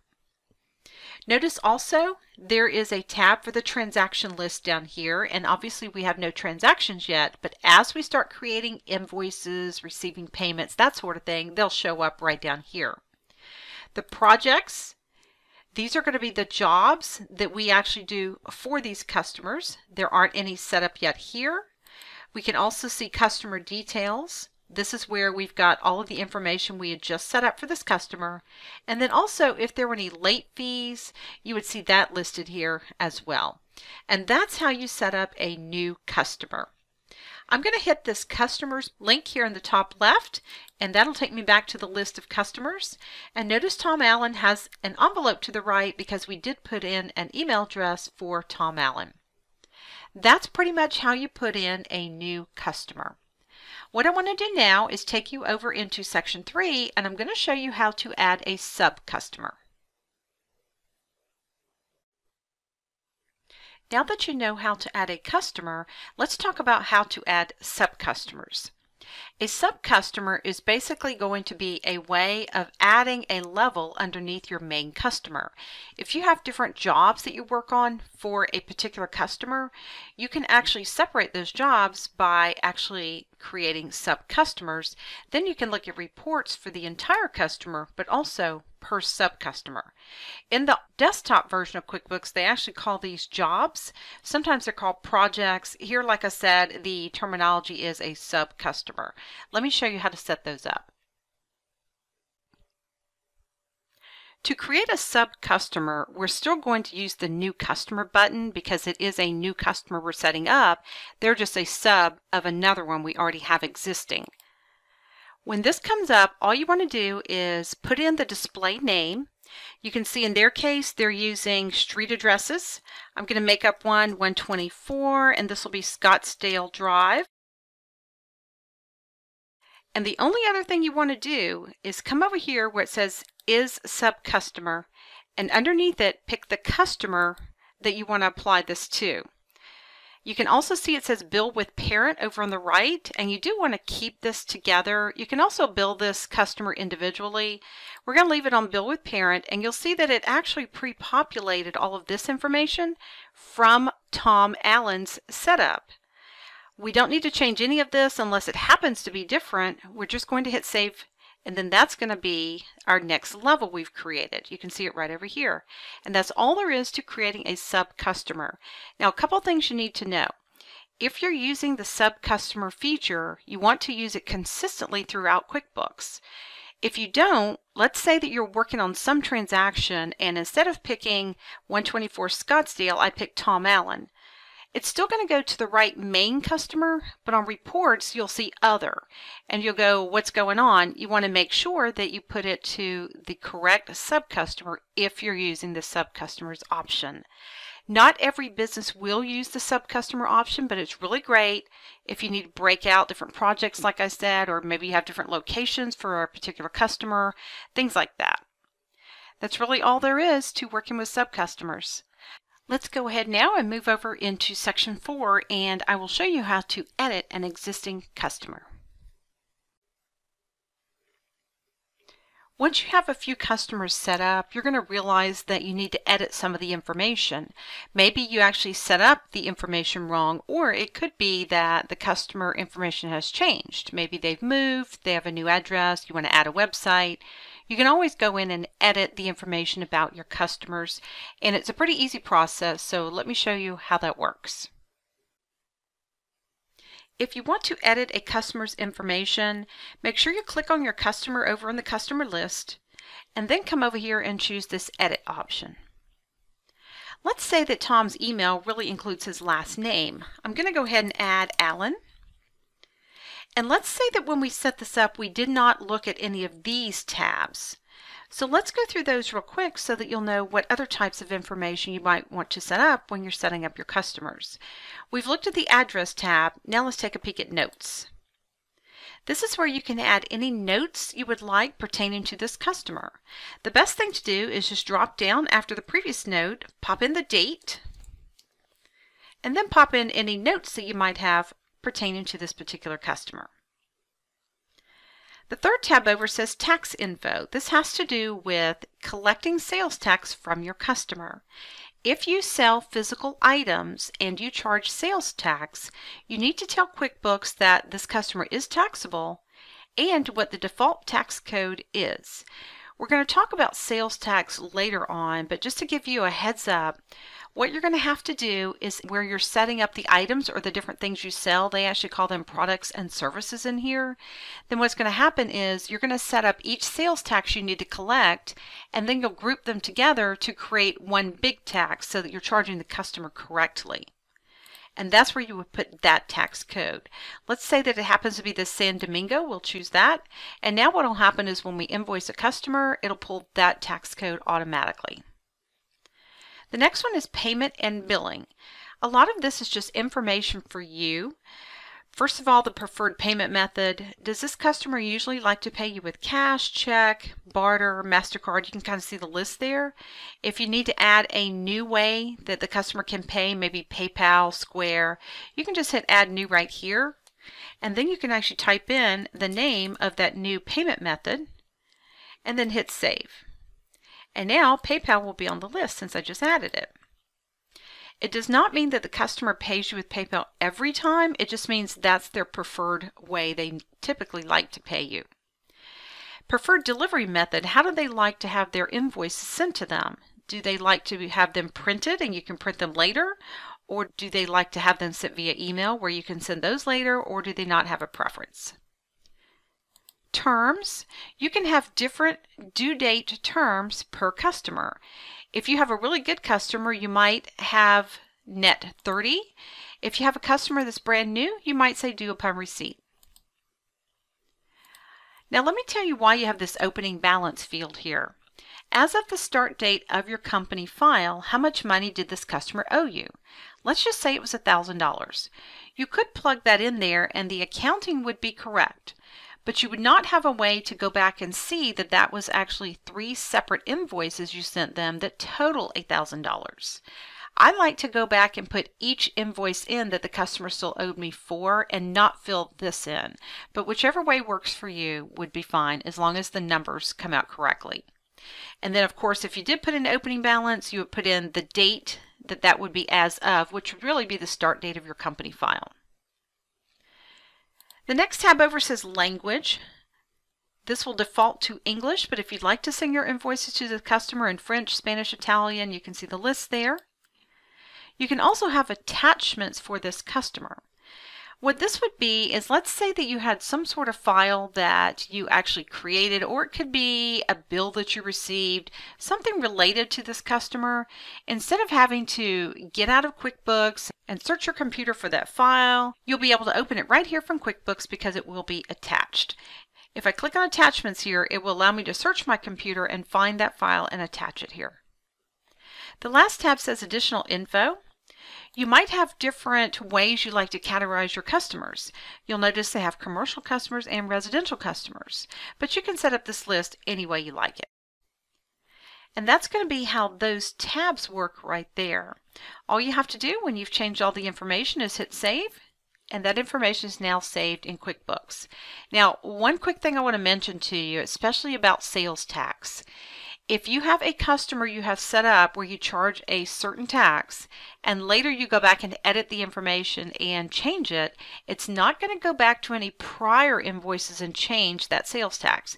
It's only for any new ones you create from this point forward. Well, that's how you're going to edit your customers. Let's go ahead now and move over into section 5 and I'll talk to you a little bit about making customers inactive.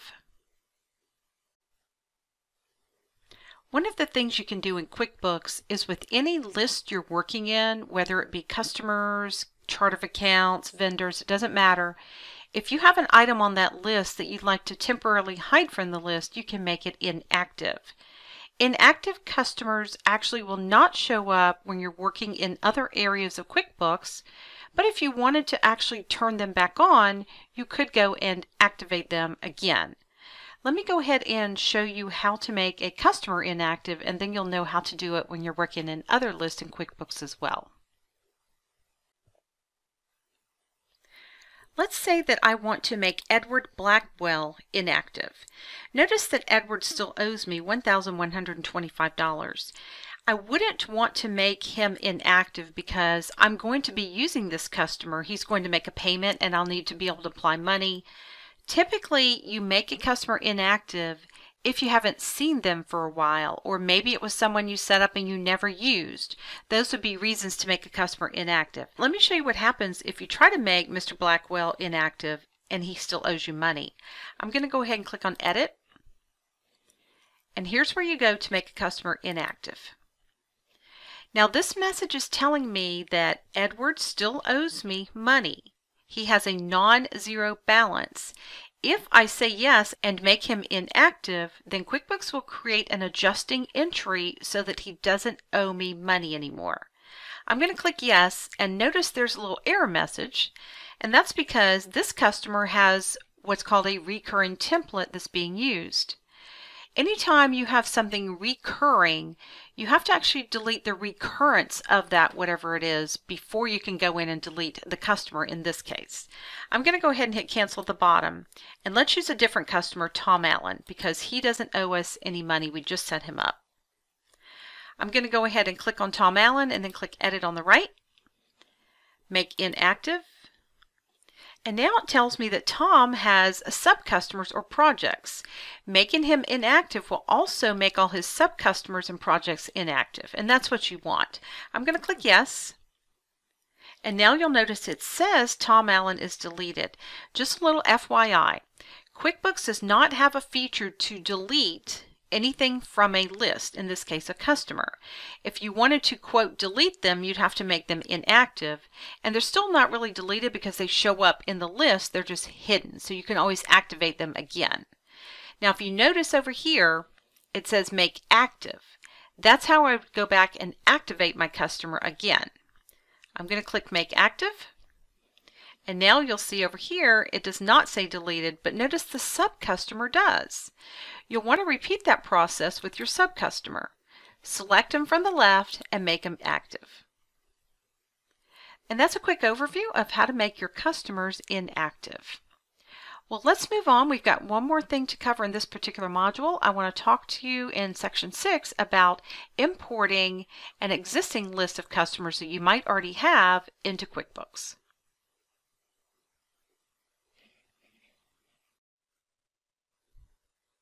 The last thing I want to talk to you about in Module 4 is how to import your customers into QuickBooks. You might already have a list of your customers in Excel, for example, or in a CSV file, and it'd be really nice to be able just to import them into QuickBooks instead of having to enter them one at a time. You will need to set them up a certain way. I want to go ahead and pull up the Excel file that I have so you can see how it's set up. And even if you don't have the fields the exact same, you can map them once you go through this import process. But let me go ahead and pull up the Excel file and show it to you, and then I'll pull up QuickBooks and we'll go through and import those customers. Here I have a list of three customers I'd like to pull in from this Excel spreadsheet into QuickBooks and you'll notice that I've got them set up by name, company name, email, phone. You can see the list here. Those are the names of the fields that are in QuickBooks that you want to pull the information into. If you can set it up this way, that's the best way to do it, but you can also map the fields if you want once you get inside QuickBooks, but I wanted you to see this so that you would know exactly how to set it up. And make sure you save it somewhere that you can pull it in pretty easily when you go to look for it. Let me go ahead and flip over to QuickBooks and we'll pull in John, Ellen, and Doris. All you need to do is make sure you're in your customer list and go up to the down arrow next to new customer and choose import customers. Here's where you're going to select your Excel or your CSV file that you currently have your customers in. Mine's called customer list and I'll just choose that and you can see it brought that file in. Now all I have to do is click next at the bottom and here I can map my fields to the fields that are in QuickBooks. You'll notice the first column are the names of the QuickBooks fields, and over here will be the names of the fields you had in your file. If the names don't match exactly, like this one says name, but maybe in your Excel spreadsheet this one said first name, for example, then you would choose it from the down arrow. If there's not a match, like company, for example, when I look in my Excel sheet, I did not have one called company, then I'll just say no match and it won't be able to pull anything in. The ones with the check mark that you see are the ones that actually have a match to the QuickBooks fields. It sees the exact same name that it sees over in your Excel spreadsheet in this case. Once you're finished going through that list, you want to go ahead and click next at the bottom and you'll see that there are three customers now that are ready to be imported. If I had a lot of these, I could go in and search for these by filtering and typing in the name of that customer. It's going to be pulling in the ones that have the check mark next to them. I'm going to go ahead and import all three of those. I'll just choose import at the bottom. And now you'll see that it's brought in those three customers. Let's look first of all for Mr. Stewart. We're going to go down the list here. And you'll notice that here is John Stewart. He was the first one on our list. It has now imported all the information that was in that Excel spreadsheet. Well, that's going to wrap up Module 4 where we've talked a lot about customers. Now that we have our customers in, we can move over to Module 5 and talk about sales transactions using these customers.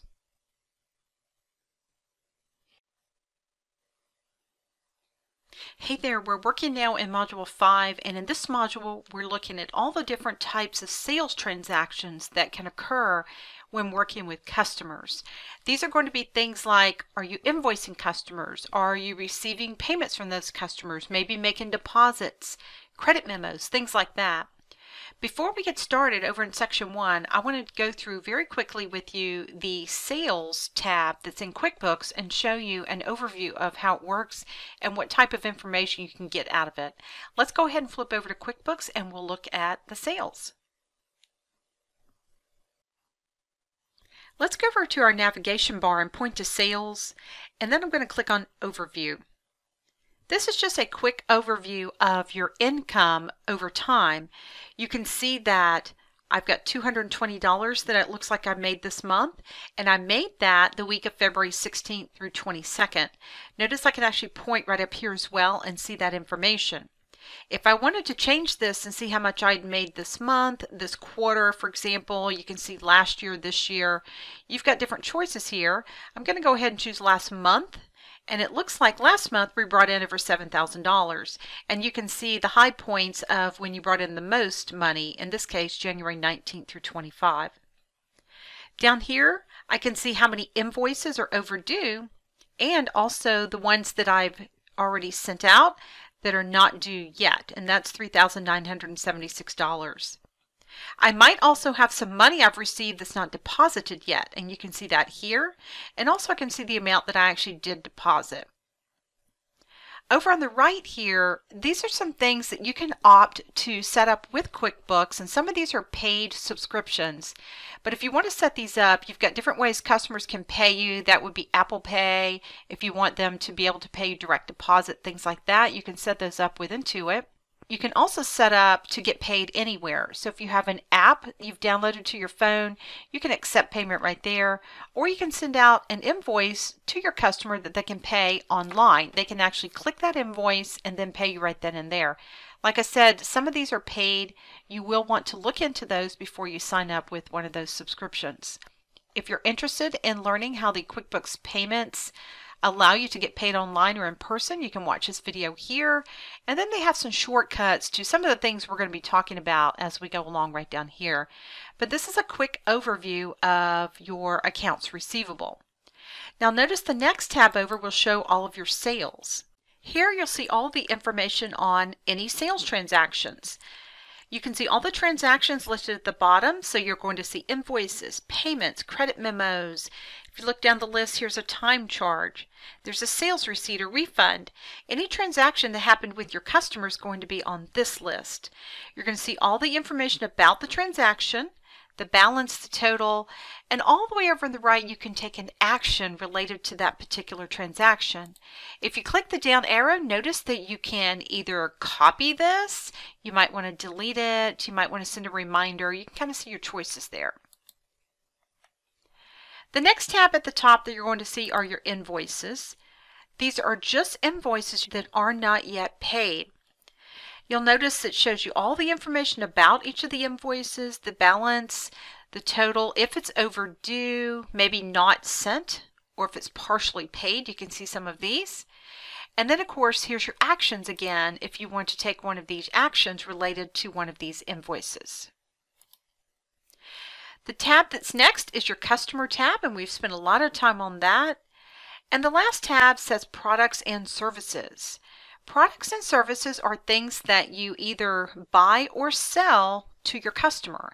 They can be a physical item, it could even be inventory or just a service you provide. And you can see for all of these that you can look at all kinds of options related to whatever's underneath that particular tab. That gives you a quick overview of how to use the sales option. What I want to do now is take you back and let's go ahead and get started looking at how to actually create sales receipts for those customers that want to go ahead and buy something and pay you at the same time.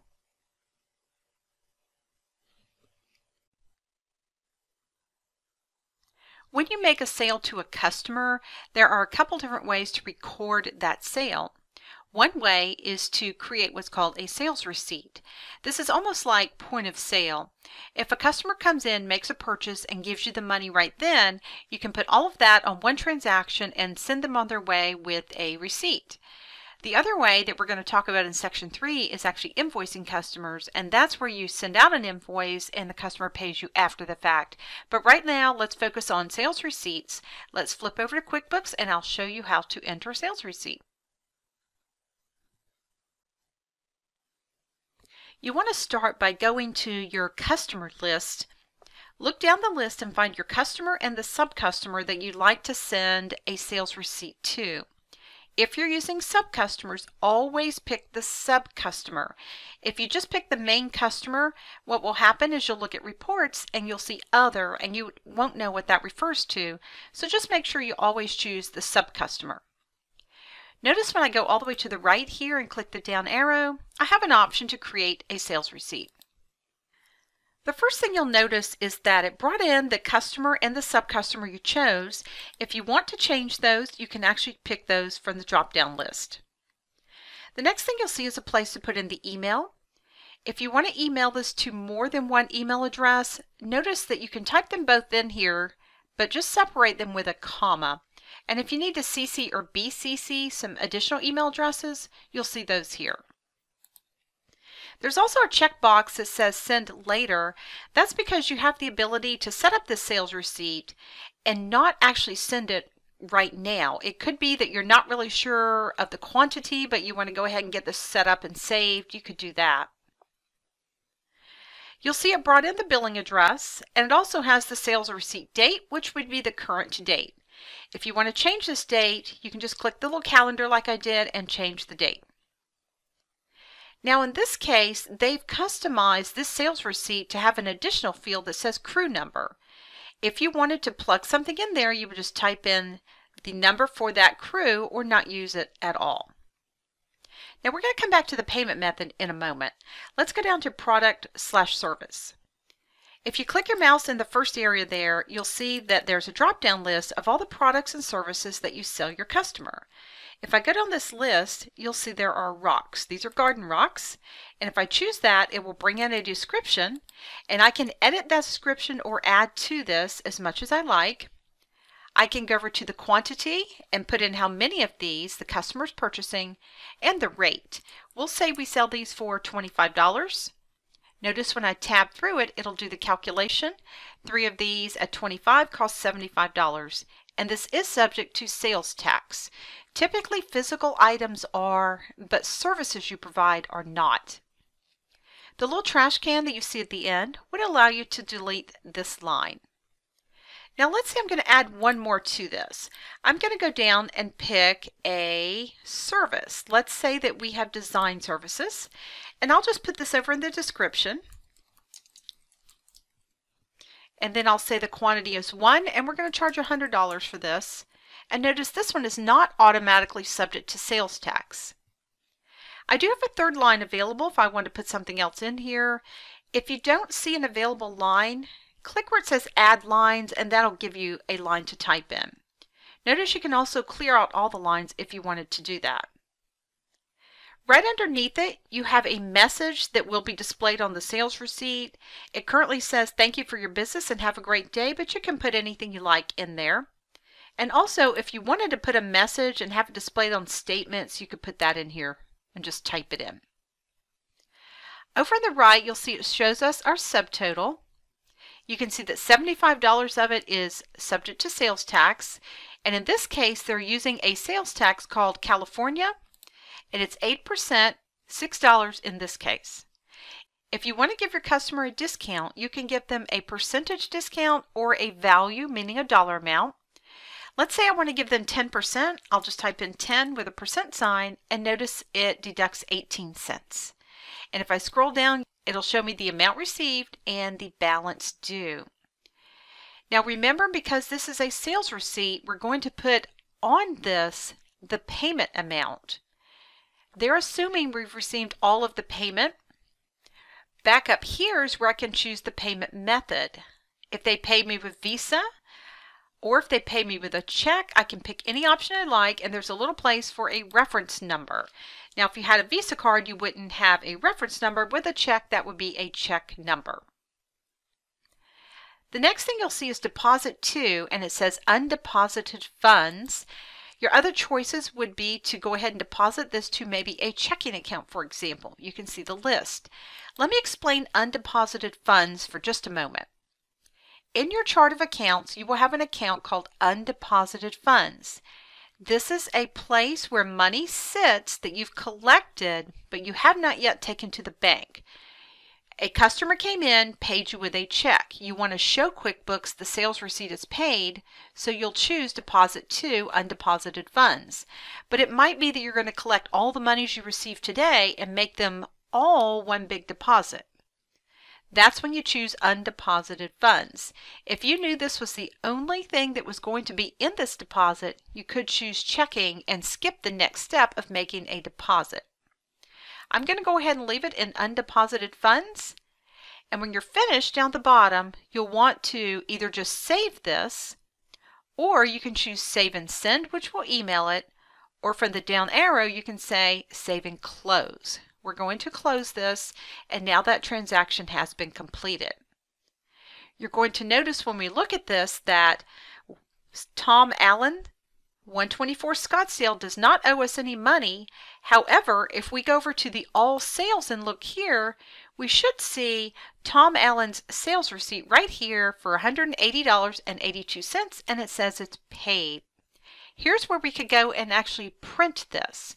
I want to view or edit this. You'll see here that this is your sales receipt where you can make that change if you need to. I'm going to go ahead and get out of this. I'm going to hit the X and cancel it. And that's how you would go in and actually create a sales receipt. That money is now sitting in undeposited funds. I want to take you over to your chart of accounts, which happens to be over here under accounting, and show you that account so that you can see the money there. Let's see our chart of accounts. And here's undeposited funds. Now you can see it has $2,243 in there, but if I view the register over here, you'll see the transaction that we did and also, which is right here, any others that were already sitting in undeposited funds. So hold that and when we talk about making deposits in section 5 you'll see how this all comes into play. But one way to keep a check on yourself is if you know everything's been deposited then there shouldn't be any money in undeposited funds. Okay, let's go ahead now and go over into section 3 and talk about invoicing customers. We've talked a little bit about sales receipts, and now let's talk a little bit about sending out invoices to your customers. Remember the difference in a sales receipt and an invoice is that on a sales receipt, the customer is standing right there. You're going to put in the line item they purchased. You're going to put in they made a payment the invoice is where you're going to send an invoice to your customer and wait for payment at a later date. Sometimes you email these, sometimes you mail them. Really doesn't matter. You're going to receive the payment at a later date. Let me show you how to create invoices for your customers. It's very similar to the sales receipts, but I want to show you where to go to get started creating invoices. There are a couple different ways to get started creating an invoice. You're going to head over to the navigation pane and point to sales. You can either use the invoice option here or the customers. If you choose the invoices option here, you're going to see a list of all of your invoices that you currently have. And if you want to create a new one, you can choose new invoice from right here. If you started with the customers, you would just come back to sales and go to customers this way.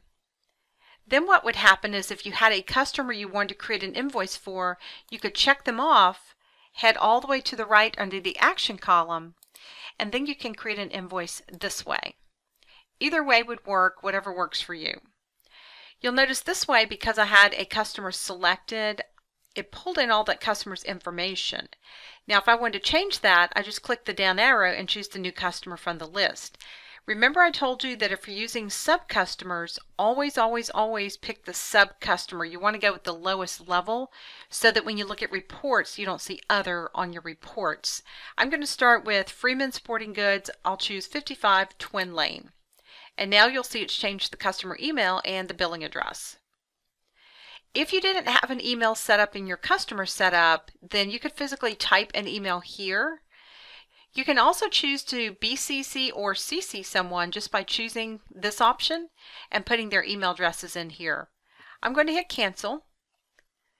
You can also send this later. If you have this checked, that means that you can create this invoice and then save it and then create another one and check the same box.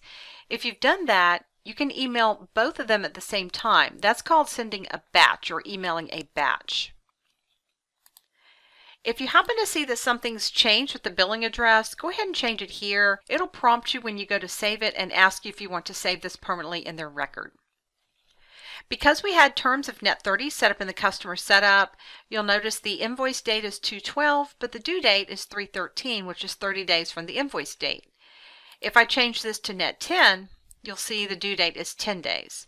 Just make sure the due date is the date that you want the invoice to actually be due to you. The crew number is a field they custom set up for this particular exercise. You can go ahead and plug in some number just to keep it consistent there. And then you can pick a product or service from the list to invoice your customer. I'm going to choose installation. And let's say that I'm going to charge them a quantity of one at $200. Remember, a service is non-taxable, so you will not see a green check mark there. If you happen to see one, just uncheck it.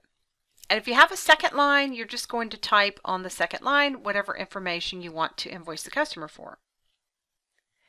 Here's where you have your message that will appear on your invoice automatically. You can type in there and change that to anything you like.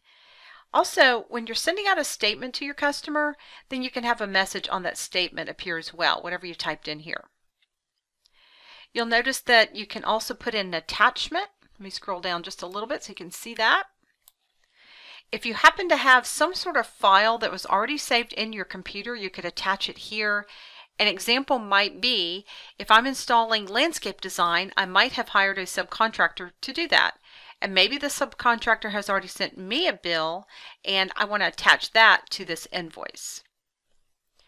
Over on the right, if you're going to give your customer a discount, you can give them a percentage discount or a value discount. I'll choose value and give them $25 and you'll see it will deduct it from my 200 so now the balance due is 175 couple things at the bottom you're going to be able to do. You can print or preview this right here. You can also make it recurring. And what recurring means is if this is something that happens on a regular basis, then you can set QuickBooks up to automatically just put this in whenever you've told it to. Let's say once a month it inserts this invoice automatically. And then you can customize this a little bit. If you want to do things like they added the crew number, you'd be able to add fields like that. At the bottom you have an option that says save, you have your save and close, and if you wanted to create a new one, you could click the arrow and choose save and new. I'm going to choose save and close though, and you'll see now that our invoice has been completed. If I wanted to go back and look at this, I can actually come up here to invoices, and then I can look down this list and find the one I'm looking for. And that's how you're going to create an invoice for a customer. Let's go ahead and move on into section four and I'll show you how to record the payment once a customer actually pays you. Now that you've created your first invoice, the customer is going to mail you a payment at some point. Now, it doesn't matter how the customer paid you, you're going to record their payment the same exact way. We're going to go in and tell QuickBooks how much the customer paid, the date they paid, all the pertinent information, and when we're done, we'll see that the invoice will show as being paid if they've paid the full amount. If they haven't, it'll show the balance, or if it's an overpayment, it will show that as well. Let me show you how to record a customer payment. Before we receive our first payment, I'd like to take you over to the Reports section QuickBooks. Just head over to your navigation bar, click on Reports, and then Reports from the submenu, and this is all the reports that are in QuickBooks. We are going to take some time in a later module and look through the different reports, but right now I'd like you to head down to a section that says Who Owes You? These are your accounts receivable reports. If you head over to the second column, you'll see the second one is called the Open Invoices Report, and you can just click to run that one. Now these are all of the invoices that you've sent out that have not yet been paid, even if the customer owes you a penny. If you remember, in the previous section, we actually created an invoice for Freeman Sporting Goods, and we did one for 25 Twin Lake, and here it is right here, $175. I want you to notice that in any report, if you want to go to that particular transaction, you can see this is a link and you can just click anywhere and actually open up that invoice. I wanted to show you this first because once we receive our payment, this invoice will actually disappear if it's paid in full or you will see this invoice and the balance is owed right over here, not the $175 that it originally was invoiced for. Now that you see that, let's head back over to our customers. We'll go to sales and we'll go down to customers. Now let's go down and find our customer we're going to receive the payment for. And this is going to be Freeman Sporting Goods, 55 Twin Lake. You'll notice over in the action column that you can receive a payment. This is the receive payment window and the first thing you'll notice is it pulled in my customer and my job. I don't need to change that unless I happen to want to pick a different customer and job. I can look for an invoice by invoice number if I want to. I can click there, just type in the invoice number and hit find and it will search for it for me. The next thing is the payment date. I'm going to say this was received on February the 28th and here's the payment method. Now here's where you can pick the way that the customer actually paid you. Did they pay you with cash? Did they pay you with MasterCard, Visa, PayPal? If you happen to take other payment methods you'd like to add, like Venmo or Square or even Bitcoin, just come up here to add new. And all you have to do is type in that new payment and then just hit save. And from now on, that payment method will actually be on the list there. Now I'm just going to say in this case it was a check though, and I'll put in the reference number. That would be the check number. And then just notice the money is going to go to an account called undeposited funds. Now hold that for a moment. We'll come back. I want to finish the rest of this and explain this part to you. Now over here, it assumed that my customer paid me the entire balance they owe for all of their invoices. And we know that's not always the case. Here, I'm going to put in the amount that the customer did pay me. Let's say the customer paid me $179. Now, if you notice down at the bottom, these are all of the invoices that are still open, even if the customer owes me a penny. You'll notice what QuickBooks does is assumes the customer is paying all of the first one, the rest of the money goes to the next one, and then the balance of the money goes down to the next one all the way down. Now that's not always how the customer has asked you to apply their payments. Let's say in this case they're not paying the first one, they're paying $175 on this last one, and they're going to pay the $4 on this one, and that's why it was $179. Always make sure that you have the correct invoices checked off and the correct amount over here that the customer is paying towards each of the invoices. A couple of other things to notice. When you look down at the bottom, there's going to be $179 worth of money that's applied. And there's no credit memos right now, but if you had one you had issued for this customer, then you could apply that credit memo to one of these invoices that would be open here. If you want to clear the payment, you could. That would let you start all over filling this form out. And then notice at the bottom there's a place for a memo over on the left, and there's also a place for any attachments if you wanted to add something here. And that's all you need to do to receive payments. It's a pretty easy process. But I do want to go back up to this right here where it says deposit to and talk to you about what your options are. Currently, if you receive payments, the money's going into this account called undeposited funds. I'm going to go ahead and save this real quick and then I want to show you where undeposited funds is and then we're going to come back in a second so I can show you where your other options are. Now, if I close the receive payment window and head back to the chart of accounts, I'm going to go down here to accounting, chart of accounts. You'll notice that if I go down the list, there's this account called undeposited funds. Currently, there's $2,241.52 in that account. This is where money sits that you've received but have not yet deposited into the bank. A good way to keep a check on yourself, if you know that everything's been deposited, this should be zero. Let's look at this for a second and see if we can figure out what money happens to be sitting in here. Notice you can click to view the register over on the right. And what you're going to notice is that right now it looks like there are three payments sitting in undeposited funds. One of them is being the one that we just received. None of these three are in the checkbook yet because they have not yet been deposited. Okay, so let's head back over to our payment that we just looked at. I'm going to go to sales and go back to customers. And let's go down and find our customer Freeman Sporting Goods 55 Twin Lake and I'm just going to click on that for a moment. And here you will see the payment that we just received. I'm going to go ahead and click on that just to open it back up. Here were your other choices. I could go ahead and put the money right in the checking account and this will skip the next step that we're going to do. But let me tell you why you may or may not want to do this.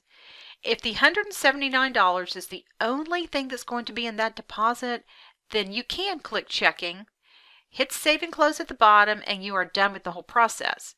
But if you think you might receive another payment, possibly from another customer, and this one and the new payment are going to be together in the same deposit, that's when you want to pick undeposited funds.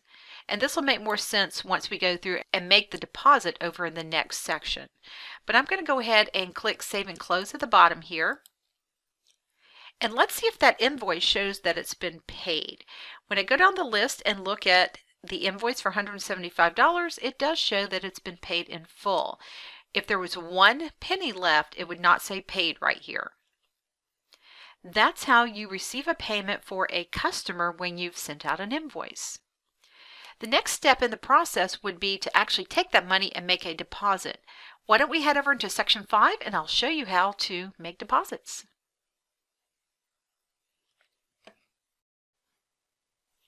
Now that we've made a sale for our business, we've actually invoiced a customer. In this case, we got paid, and now we want to take that money and put it in the bank. And that's where the make deposits option comes in. It's always going to be the last step in this process. No matter how you receive the payment, whether it was a Visa card, cash, a check, you're going to have to make deposits, and you want to make sure that your deposits in QuickBooks match what actually happened at the bank. Let's go ahead and flip over to QuickBooks and talk about the make deposits option. The easiest way to record that deposit is to click the new button right here.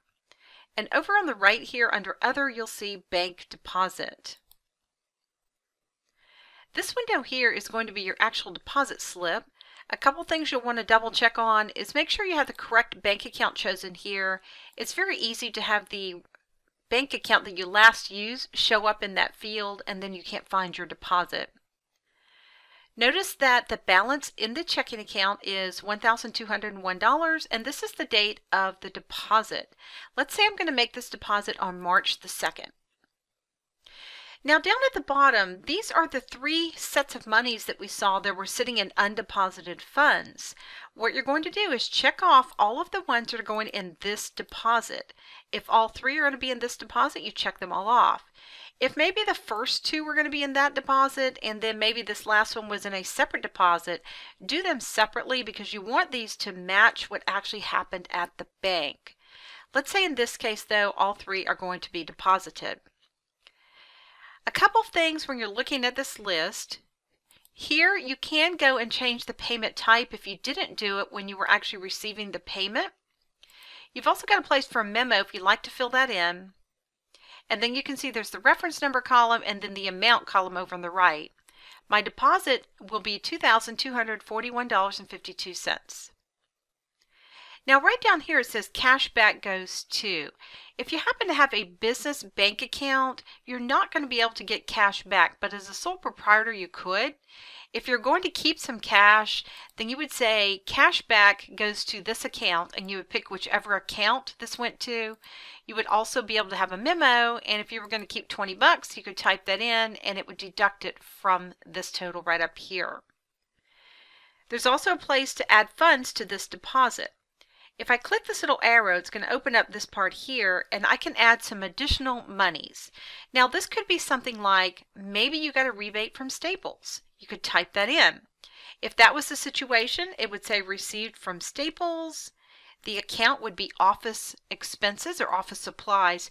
Pick whichever account you actually used when you purchased the items for that rebate and put it back to the same account. You've got a place for description, the method, and the amount of money. It could be you're also going to put some personal money into the business. If that's the case, then the account you want to choose is that owner equity, if you remember us talking about that in an earlier module. But remember that everything that goes into a deposit is not always income to the business, so make sure that this goes back to the correct account if you're adding additional funds. Notice if you need more than the two lines, you could add additional lines and have as many lines as you'd like here. You can also add a memo to this deposit if you'd like, or add an attachment down at the bottom. And that's all you need to do as far as making a deposit. Now a couple just other options, you could print this deposit out down at the bottom or make it recurring. It could be that you have a customer set up on automatic draft where they actually pay you $1,000 a month, let's say, and this would be that deposit. Lots of different scenarios there. I'm going to go ahead and hit save and close down at the bottom and at this point, the money's actually going to be in my checking account. Remember, it's 2241.52. Now that whole process of invoicing a customer, receiving a payment, and making that deposit has been taken care of. Now let's go look in the checking account and see if we can find it. It just so happens that on the overview right over here where we are, the checking account is here. That is one way to link to it to look at the balance. Another way would be going down to accounting to our chart of accounts and just opening it that way. Any of this would work. I'm going to go ahead and view the register. When I look in the register, you'll notice that there's my deposit right there. Notice it says split because it's split amongst multiple line items. In this case, we had three different transactions that went on the deposit itself. I'm going to go ahead and cancel that and that's the process of actually making a deposit. The next thing I want to do is take you over into section 6 and show you how to set up credit memos for customers. There are times when you will want to issue a credit memo to an invoice. Let's say you have a customer that just isn't happy with your services and they refuse to pay one of your invoices. You can actually leave it on the books for a while if you'd like, but eventually you might want to credit that off. Let me go ahead and show you how to create a credit memo. The first thing that you want to do is look up the original invoice and see what it is that you charged them for to begin with. I'm going to look at Red Rock Diner and you'll see there's an invoice for $70 here. I'll just go ahead and open it up and you're going to notice that we charged them for pest control. It looks like probably two hours at $35 an hour for a total of $70. Now let's say the customer just wasn't happy with us and we're going to just credit that invoice. When we create the credit memo, we need to use the exact same product or service that we charge for to begin with. The way you're going to create the credit memo is come up here and click on New. Underneath Customers, you're going to see Credit Memo.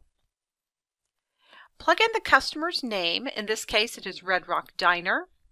You'll see it populates their email, their billing address, and it's going to have the current date for the credit memo date. Just make sure you put the date that you would like. We're going to be looking at tags over in section 9. Let's just hold that for a moment and let's go down to product or service. Here's where we're going to put in pest control. Remember you want to credit the same product or service that you invoice for to begin with. We're going to choose the quantity of 2 at 35 and that's going to give us a total of 70. All we have to do now is go ahead and go down to save and close. Now that the credit memo has been created, I want to show you two things that happen on your customer's account. Notice here's the credit memo and it says it's closed and then there's a payment that wasn't there before. Now this payment is where you're going to go to actually apply the $70 to the correct invoice because see how the invoice is still open over here?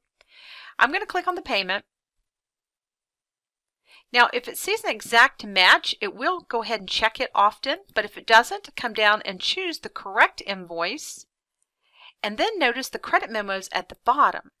So you want to make sure those two are checked so they apply to each other. So you'll notice down here the amount to apply is $70, and that's all we have to do. We're going to save and close at the bottom. And because this transaction is linked to others, it will ask us if we're sure we want to modify this, and the answer is yes. And now when we go back and look, we'll see that the credit memo is closed, the payment is closed, and the invoice is actually paid.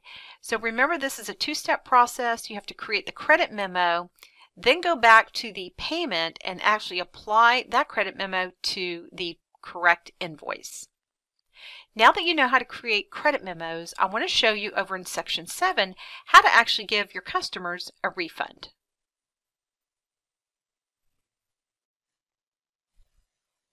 There are times when you want to issue a refund to a customer. And that would be if a customer has purchased something and paid in full and you want to actually give them their money back. That's the difference in a refund and a credit. A credit usually sits in their account until you just credit the money off of your books, whereas refunds, you actually give customers the money back. Let me go ahead and show you how to create a refund.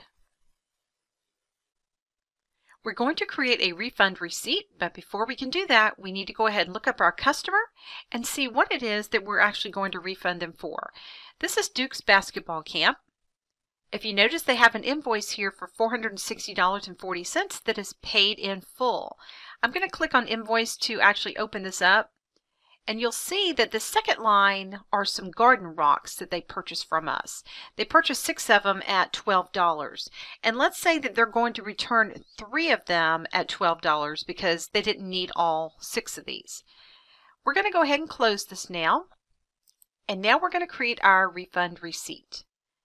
We're going to go over to the new option on the navigation pane. We're going to come down to refund receipt. Here we're going to pick our customer's name. In this case, it's going to be Duke's Basketball Camp. You can see it pulls in their email and their billing address, and we just need to make sure we have the correct refund receipt date. Down here where it says payment method, this is how the customer actually paid you. They wrote us a check, let's say, and we're going to refund them from our checking account.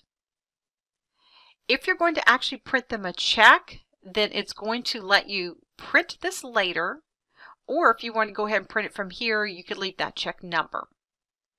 Now let's go ahead and put in the correct product or service. And we decided that this was Garden Rocks. And so we're going to go ahead and choose that. And remember, they're returning three at $12, and that makes $36. If the item was subject to sales tax when the purchase was originally made, then QuickBooks will automatically choose the tax option to give them their tax back as well. You'll notice this equates to $36. The total amount refunded will be $38.88. I'm going to go ahead and hit Save and New at the bottom, and now that refund receipt is done. I'm going to click OK here where it says it was successful. And now let's go back and look at their account. If I'm looking at Duke's basketball camp, you'll see here's the refund right here, and you'll notice that it says it is paid. Now, if you want to actually go ahead and print a check, then all you have to do is over here, it says print check, and you'll notice that it automatically has Duke's basketball camp and a check waiting to be printed for $38.88. Just double check that you have the correct checking account at the top and make sure you have the correct check number that your check is going to be. Now, if you were giving them cash, you would have chosen cash from the option back over in the refund receipt, and then that would have just been done. That's really all you have to do at this point. You can actually go down and you can preview and print this, and then that will be the end of it. There's the preview. You would hit print, and it would print out. And that's how you create a refund for a customer. It's called a refund receipt.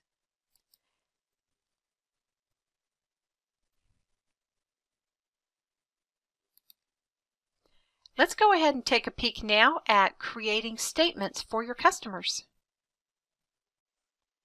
One of the things you have the ability to do in QuickBooks is send statements to your customers. A statement is basically a gentle reminder to your customers that they owe you some money. Typically, statements are sent at the end of each month and they show the activity that happened during that month. You don't have to send out statements, but it's a nice little feature to keep your customers abreast of what's going on with their account. Let's go ahead and flip over to QuickBooks and we'll see how statements are created. When you're ready to create statements for your customers, just go to your navigation pane and choose the New option. Over here where you see Other, if you look down, you'll see Statement. The first thing you have to do is pick a statement type. You can choose a balance forward, any open items for the last year basically, and then you can also choose a transaction statement. I'll choose balance forward. For the statement date, you generally want to pick the end of the month. That means that in this case, the start date would be January 1 and the end date would be January 31. For the customer balance status, you can choose all, open, or overdue. I'm going to choose all and then apply. And these are all of my customers who met the criteria. They call this the recipients list. If you're looking down this list and you see one that you don't want to send a statement to, just come over here and uncheck the box. Now when you're ready, you can print or preview these down here in the middle. I'm going to click on print or preview so that we can see what a statement looks like. Now I'm going to have one here for each customer. You'll see as I go down the list, there you go. And for each one, you're going to be able to see all of the activity for January 1 through January 31. The first thing you'll always see is the balance forward from the previous month. Notice up here tells you the total due, and there's a place where the customer can actually send you a check, and if they want to type in the amount closed or write it in right there, they can do that. And then down at the bottom of the statement, it shows you how much of this is in the currently due category, how much is in each of these categories, and then again the total over on the right. And that's what a statement looks like. You can pick any date range you like when you're creating statements. If you just want to send one to one customer, you can do that. But that's an overview of what statements look like and how they work. I'm going to go ahead and close this and you really don't need to save or save and send this. Once you've printed these out, you can go ahead and just X out at the top and then it's ready and you can print them the next time. Well, let's go ahead now and look over in section 9 and talk a little bit about how a new feature of QuickBooks called Tags is going to work.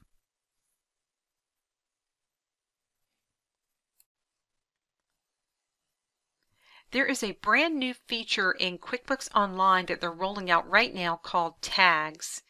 And what Tags will allow you to do is create certain words that will appear on a drop down when you're in different transactions in QuickBooks. And you can choose those and later you can use those to search for things or to run reports based on those tags. If you're familiar with Gmail, we've got something similar in there where we can create a list and tag different emails and then search for anything that would have that particular tag we're looking for. This is still in beta right now. If you happen to not see it when you open up your QuickBooks Online, just know it's coming. They're just rolling out in stages right now, and you may not have all the options related to tags yet, but just know it will be coming somewhere down the line. Let me give you an example of how you might use this feature. Currently, we have a feature in QuickBooks called Classes, and we've kind of been using that in the way that tags will work. But let's say that you have an attorney's office and you have four different attorneys in that office. You might want to run reports on the company as a whole, but you might also want to run reports on each attorney. If you had this list of classes set up, you could just pick from the drop-down list in each transaction you're in which attorney that this should be tagged to. And we're going to use tags in the exact same way. I don't know if they're going to get rid of classes down the road somewhere, but tags are going to be a really nice feature. So let me flip over and show you what's in there now. And like I said, if you don't see these options or you see something new down the road, it's because they're rolling it out. It's still in beta. The way you're going to access your tags option is through the gear icon on the top right hand side of your screen. And underneath the list right here, you'll see tags. Now currently we don't have any tags set up, but once we do set up our first tag, you're going to see the top of the screen change and you'll see a section that says money in and money out. Let me give you an example of what we're going to do with our tags. This is a company called Craig's Design and Landscape Services. They actually do two different things. They do design work and they do pest control. And as part of their design work, they have three different areas they focus on. They focus on fountains, landscaping, and sprinklers. If I wanted to put my tags in a group, then I could do that as well, and you will see the groups listed right here along with the tags, but let's start with just a tag. I'm going to come over here and under New, I'm going to choose Tag, and let's say that I use Fountains as my first tag. If I wanted to put it in a group, I could, but I don't have any groups set up yet, so right now I'm just going to hit Save at the bottom, and now you'll see my first tag called fountains and notice it's ungrouped. It's not part of a group. Now here's what I was saying a second ago about the money in and money out. Once I start applying these tags to different transactions, I can come here and see the money in or out based on those tags I have. Now let me go ahead and create a group to show you how this works. I'm going to create a tag group and I want to create a group called design and I'm going to create another one in a minute called Pest Control. Now you'll notice that from this screen here, if I wanted to add a tag, I could do it right from here without having to go back out and hit New Tag. I'm going to add two more because I have fountains and I want to add landscaping. And we're also going to add sprinklers. And I'll just hit Add Tag there. Now let me go ahead and click Done at the bottom. And now what you're going to see is design is a group and notice the down arrow. In order to see the two tags in there, I click the arrow and then I see those two. Now fountains is still ungrouped. If I wanted to add it to this design group, I can come over here where it says edit tag and then I can select the group I'd like it to belong to, in this case design. And when I save it, now you'll see design has three tags underneath. Now let me create one more tag, group, I'm going to create one called Pest Control. And let's say under Pest Control that I'm going to create two tags. I'm going to create one for residential and one for commercial customers. I'll add that one, and then come back and add commercial, and then add that, and now I'm going to say done at the bottom. And now you can see at the bottom I've got two different tags. I've got one that's pest control and one that's design. Now the other thing is notice the color blue. I can leave it like this, but if you want, each tag group can have a different color scheme going on. If I come over here to edit the group, you'll notice that here I can change the color. Maybe this one can be this yellow color and I can save that. And notice it also made all the tags below it that same color. And that way they just stand out a little bit when I'm looking at different reports or things. Now let me show you where you're going to use these tags or tag groups. This will be in any transaction. Let's say that I go over and I create a new invoice. You'll notice that in here you have an option that says tags. You can choose from the drop-down list and you can choose more than one if you need to. This might have fountains and it might also have some pest control. And there's your two tags that we're going to be using. Now I will be able to look up reports based on the product or service, but I can also look at the reports based on fountains or commercial. Now let me just go ahead and set something up here so you can see how this works. I'll pick Tom Allen. We're going to go down and pick for a product or service. We're going to go ahead and say this is gardening. And we're going to say one at $50.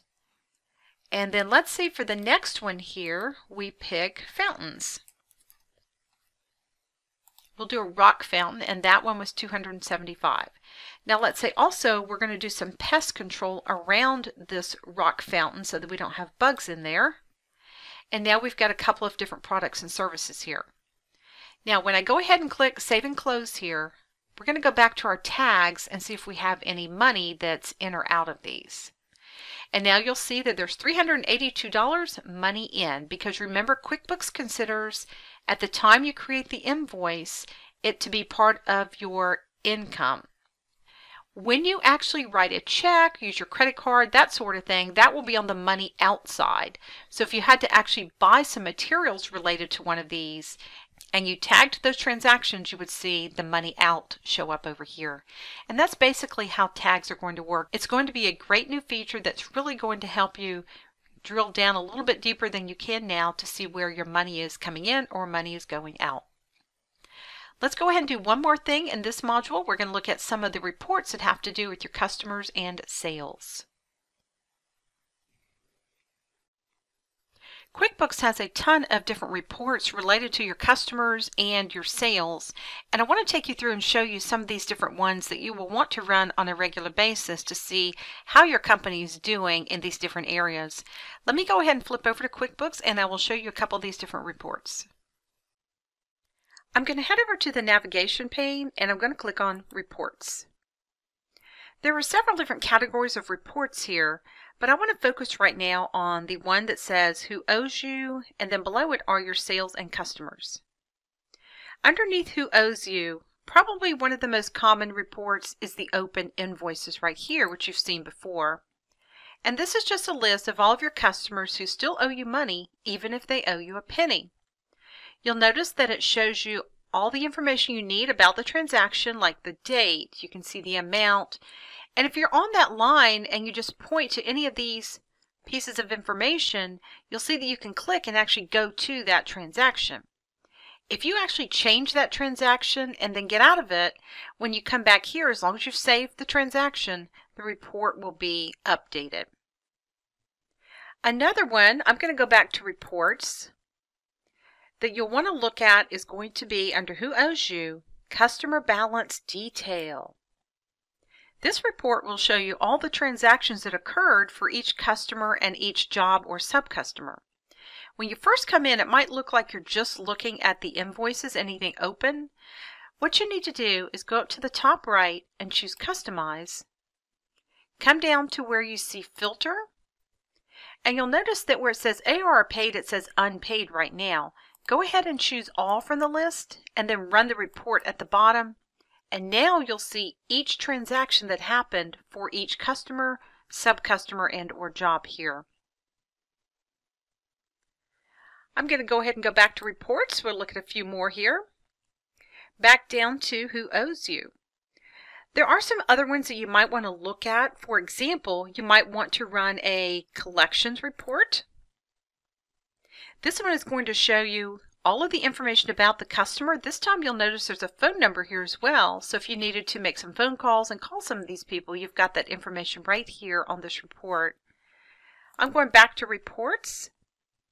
Some other ones just to notice, you do have the ability to run an accounts receivable aging detail and an aging summary. Anytime you see a summary and a detail, the summary will show you the line item and one total, whereas the aging detail will show every single option that made up that category or that line item that you would normally see. You can see an invoice list here if you like. You can see a terms list. There's a statement list, just all kinds of things you can look at underneath who owes you. Now down under sales and customers, here's where you can run things like a customer contact list. This is just going to give you each customer, their phone number, their email, that sort of thing. You can also go in and look at estimates by customer. You might want to see if you have any income by customer. You might want to see all your payment methods, product lists and services. Your sales, you can look at those by customer, you can look at them by product, and you can also look at them by time or activities. So just know that there's a lot of different reports under those two options right there. Now, most of your reports can be customized. If you happen to run, for example, a sales by customer detail, you'll notice that you can come up here and change the report period. I can look at all dates and then I can hit run the report and I'll see all of the information for each customer. I can group these by customer. I can group them by product. I've got all different kind of ways I can group this report. And also something else to notice is that all of your reports are automatically run on an accrual basis, not a cash basis. And you can change it per report if you need to. Accrual basically means that as soon as you invoice a customer, it's going to show as income to your business in QuickBooks, whether they've paid it or not. If you had any expenses, let's say you entered a bill, it would show it as an expense whether you'd paid that bill or not. We're going to see how this really works when we look at a profit and loss a little bit later. But let's go ahead and just kind of wrap this up. I just wanted you to see the reports that were available for customers and for your sales, and most of them will be under these two headings. Let's go ahead now and move over to Module 6 and talk a little bit about products and services. We're just starting Module 6 now, and in this module, I want to talk to you about how products and services work in QuickBooks. A product or service is something that you either sell your customer or sometimes you purchase those products and services as well. And you want to set those up and make sure you set them up correctly so that you have accurate reports as far as inventory or as far as some of your uh, profit and loss, those types of things. Let's go ahead and flip over to QuickBooks and start talking a little bit about how products and services work. I'm going to give you a quick overview and then I'll take you into section 2 and show you how to add some of those products and services. To get to a list of your products and services, go to the gear icon on the top right of your screen. Then underneath the list, you'll see Products and Services. This is a list of all the products and services that you have set up. Remember that sometimes you buy these and sometimes you sell these. And there are different types of products and services you can create. You'll notice currently mine are sorted by type. If I wanted to sort by any of these other columns, I would click on the name and just sort by that column. You'll see there are services you provide like landscaping, trimming. You'll see that there are different pest control. Those are all services you provide. When you get past the service items, you're going to see that there are actual inventory items as well. Inventory means that you actually sell physical products and you count how many you have. For example, when I look at rock fountain, you'll notice that it looks like I have two on hand. And I can buy more and add to my inventory, or I can sell these and that will take it out of my inventory. There are other types of items that you can have as well. You can have non-inventory items. Those are actually items that you don't want to track how many you have in the back, but they're physical items that you either buy or sell.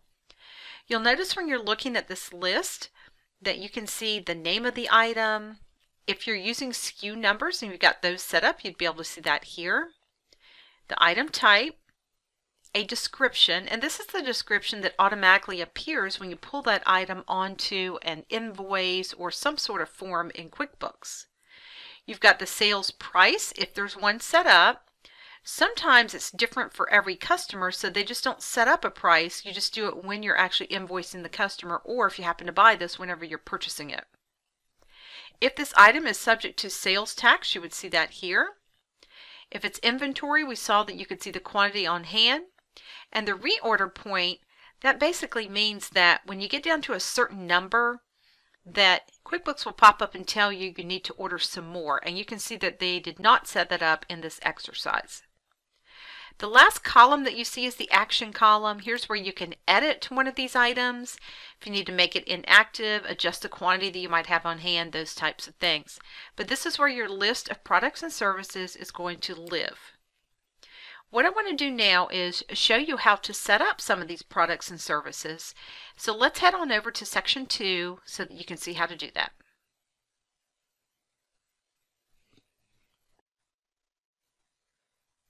Now that you've had a quick overview of what the products and services screen looks like, I want to take you in and show you how to create your own products and services.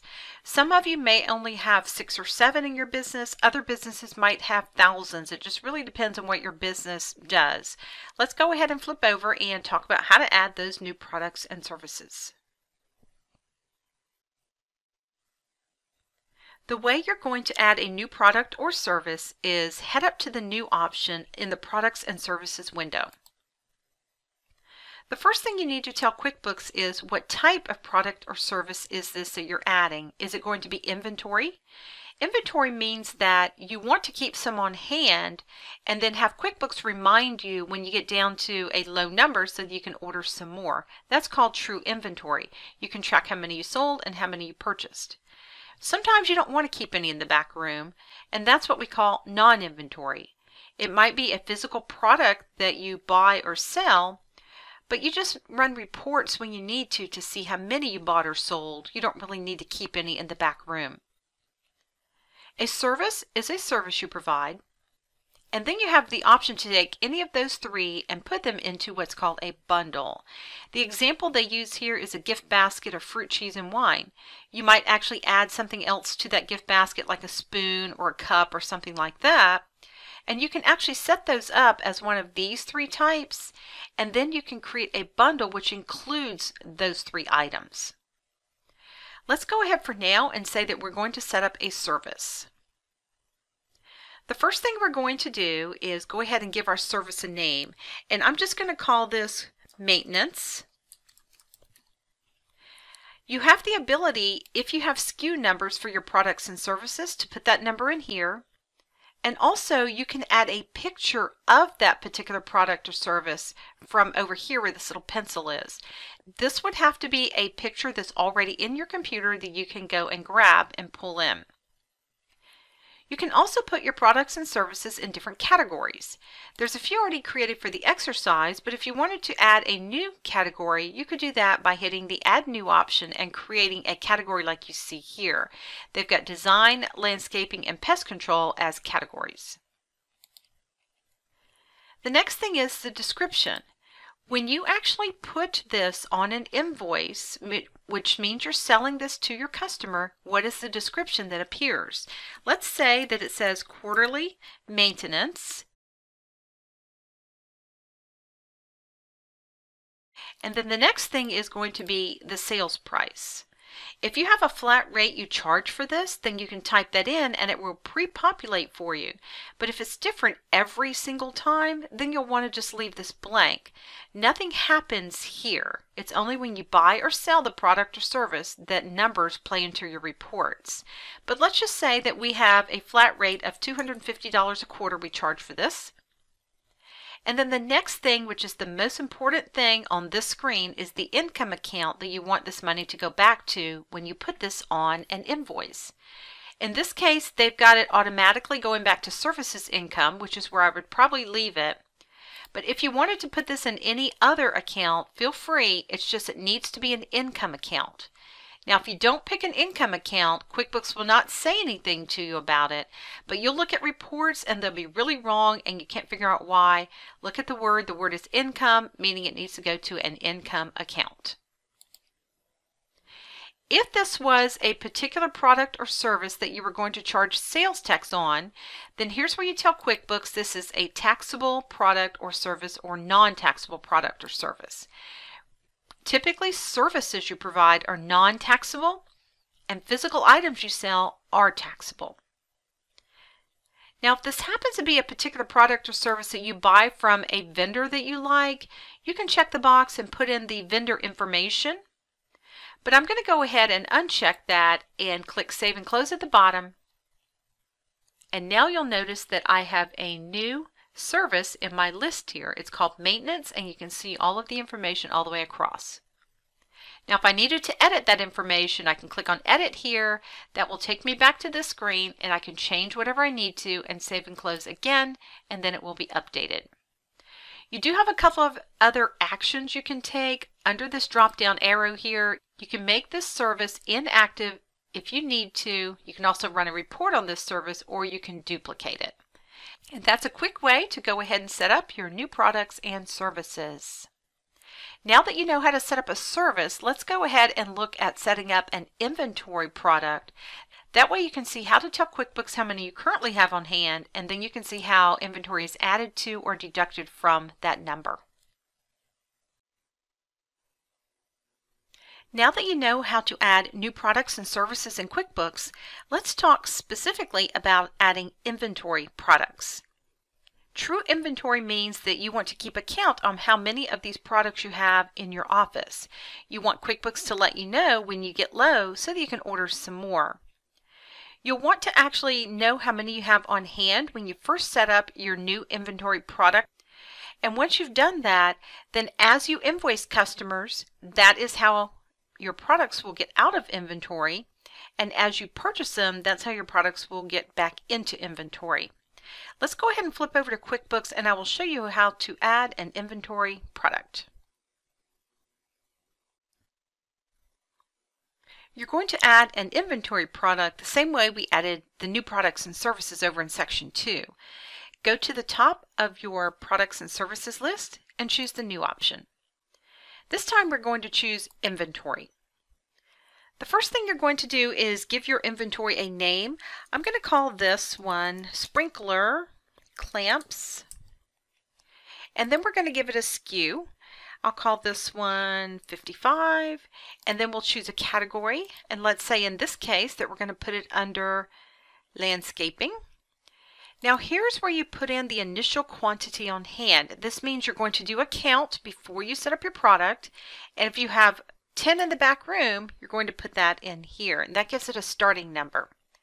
You also want to have a date to start this with. And let's just say in this case that I want to go back to the beginning of February.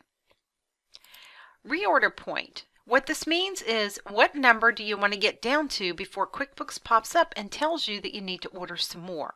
Let's just say in this case when we get down to 3. The next thing you're going to see is inventory asset account. Now do not change this. This is the account that the value of the inventory will actually go into in your chart of accounts. Remember that inventory is an asset to your business. You are worth more because you have it right now, but your goal is to sell it and get it out the door. This is the asset account the inventory will sit in. And then we're going to put in a description. Now I would put in the same thing. We'll put in sprinkler clamps. And then if you have a set rate that you charge for this, you'll want to type this in. If you don't have one that's different every single time, then you can just leave it blank. Let's say that we sell it for $2.75. You don't want to change this either because this is the income account that this will go into when you make a sale. When I put sprinkler clamps on an invoice and I sell this, it will go into the sales of product income account. If this is a taxable product, you'll want to make sure that this says taxable. And now we have the purchasing information. This was the selling information up here. This is when you purchase it down here. The first thing it asks for is a description. When you order this from whatever company you order them from, what is their description? And sometimes it'll be the same. Other times it might have a part number at the end. There's just all kinds of different things that this could say. What is the cost? And this means on average, what do you buy it for? It does not mean that the last time you purchased this, it was $1.75. Let's just say on average though, it is $1.75 and it will go to an expense account called cost of goods sold. If you have a preferred vendor, then you can pick them from the list here. It could be that you like to get these from Hicks Hardware. And that's all you need to tell it. I'm going to go ahead and click Save and Close at the bottom. And now I should see my sprinkler clamps right here. You can see the SKU number we typed in, the sale price, the cost. There's 10 of these currently, and when we get down to three, it's going to pop up and ask us if we want to order some more. Don't forget you have some options over here under your action column. If you wanted to go and adjust the quantity, maybe you discovered there's really only nine in the back room, you'll be able to do that. You also have the ability to adjust the starting value. And that's really all there is to adding inventory products. Let's go ahead now and move over to section four and talk a little bit about purchase orders. If your company buys a lot of products, you might want to create a purchase order system for your business. When you do this, it's a way of actually tracking everything you've ordered, and that way you can see what's come in, if there's anything back ordered, that sort of thing. And this is also going to be a way to start the process of receiving your items into inventory. Let me go ahead and show you how to create a purchase order. Before we get started, there's a couple things that you need to know. First of all, if you'd like to use the purchase order feature in QuickBooks, you have to be enrolled in the QuickBooks Online Plus edition. That's the edition that actually handles purchase orders. The other thing is you're going to have to actually turn on the purchase order feature in the account settings. Let me show you where to go for that. You go up to the gear icon. You're going over to account and settings. Make sure you're clicked on expenses and here's where you see purchase orders. If this is not on, just come over here to this pencil and then make sure you check the box here to use purchase orders. As long as that's good, then you should be fine. I'm going to go ahead and close with the X and let's go and look real quick at our products and services because I want to show you how we're going to order some more and put it into our inventory. I'm going to click on the gear icon under the list, the second column, I'm going to click products and services. If you remember, we talked about some of these being inventory, and one of these that I want to talk about right here is going to be this rock fountain. Now let's say we have two of these, but we're getting ready to do a new job and we need to order two more to have a total of four. This is what we're going to order. To create a new purchase order, I'm going to go to the navigation bar and click on New. I'm going to go down in the second column and click on Purchase Order. And the first thing I need to do when creating a purchase order is to pick my vendor. I'm going to go down the list here and we're going to pick Hicks Hardware. If you had Hicks Hardware's email, it would be pulled in right here. You can see there's the mailing address. And then let's talk about the ship to for a second. If you want to have Hicks Hardware ship these directly to your customer, you can choose your customer from here. If not, then it's just going to come to your office. You don't need to choose anything there. Here's the date of your purchase order. And in this case, they're using the crew number field, so we're going to plug something in there. You can also set a ship via, which would say USPS, FedEx. You can also set a sales rep if you had those as well. Now looking down the list, you want to use the item details, not the category details here. And remember, we're getting ready to order some more rock fountains. Now let's take the other ones out of the list. We're just going to go ahead and click the little trash can over on the right. And I want to get two of these so that I have a total of four when I'm done. Again, if it's related to a particular customer, you'll want to plug that information in right here. If you were ordering other things as well, you can go ahead and put all of these in here. You have a place to put a message to your vendor, a memo, and at the bottom, some attachments. Once this is done, you're going to go ahead and send this over to your vendor. I'm going to go ahead and say save and close, and that's how that works. If you had the vendor's email address, you could have emailed this directly to them. Other than that, maybe you called them on the phone and ordered it, but you do have your PO in here now so that whenever you go to receive these items, you have something to receive it against. That's how you actually create a purchase order. The next step in the process is that your products actually come in and you're going to go in and receive those products into your inventory. Let's go ahead and head over to section 5 so I can show you how that works. Now that you've created a purchase order, you can actually receive the items into your inventory.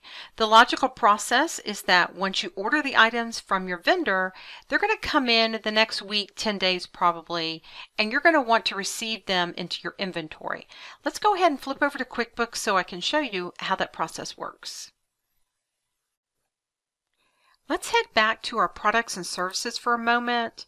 I want to show you that if we go down and look at Rock Fountain, we still just have two. And that's because all we've done at this point is order two more. Once we get through going through this receiving products into inventory feature, then you're going to notice that this number will go up to four. All you have to do is head over to the navigation bar and click on New. And we're going to create a new bill. The first thing it asks you is who is your vendor, and this is where I'm going to pick Hicks Hardware. And you'll notice as soon as I do that, that this little window pops up over on the right, and this is letting me know that I have an open purchase order. If you want to actually add the items on this purchase order to this bill, just click Add. And if you look down here, it's added the rock fountains, it's added two of them, and it's got a rate, amount, and everything we talked about here. Because this is an actual bill from the vendor, we want to make sure that the rate and the amount and all of that is correct. If there happened to be a sale and that's why we had ordered two of these, we would change the rate and of course the amount would change in that case. Going back up to the top, you'll see that it pulled in our mailing address for Hicks Hardware. We're going to want to choose the terms that are on that bill. We're going to say net 30. Here's the bill date, meaning the date that it was actually printed, and the due date, meaning the date it was actually due. We'll also want to plug in our bill number over here. And that's really all we need to do. There's a place for a memo down on the bottom left. We can add attachments if we want, and when we're finished, we're going to save and close. Now let's go see how many we have in inventory now. And if we're looking at Rock Fountain, we have four of those. And that's one of the ways that things get into inventory through a purchase order. Now we'll be looking at some other ways things get into inventory. It could be you've written a check. It could be that you've actually gone in and used your debit card. But this is a way of creating an order and then receiving that order. I want to go ahead and look at the last section in Module 6 here. I want to look at some reports related to product and services, and then we'll be done with Module 6. The last thing I wanted to do with you in this particular module is go through some of the reports related to products and services. There are a ton of reports in here. I want you to take some time after watching this video and just go back through some of the ones that we didn't talk about just to see what's available. We're going to go ahead and flip now over to QuickBooks and I will show you how to get to those product and service reports. You want to head over to your navigation pane and click on Reports. If you had saved some of these as your favorites, they would show up at the top here. But let's scroll down until you see a heading that says Expenses and Vendors. Here are your purchase order reports right here. One is a list and one is the purchase order detail. Let's start with the list. You'll notice these are all of the open purchase orders and they're listed by vendor. If you've already received your items from the purchase order, it's not considered open anymore and it won't show up in this list. You've got a couple of options up here. Right now we're showing purchase orders for all the dates, which is what you want, and they're grouped by vendor. You can also come over here and customize this a little bit.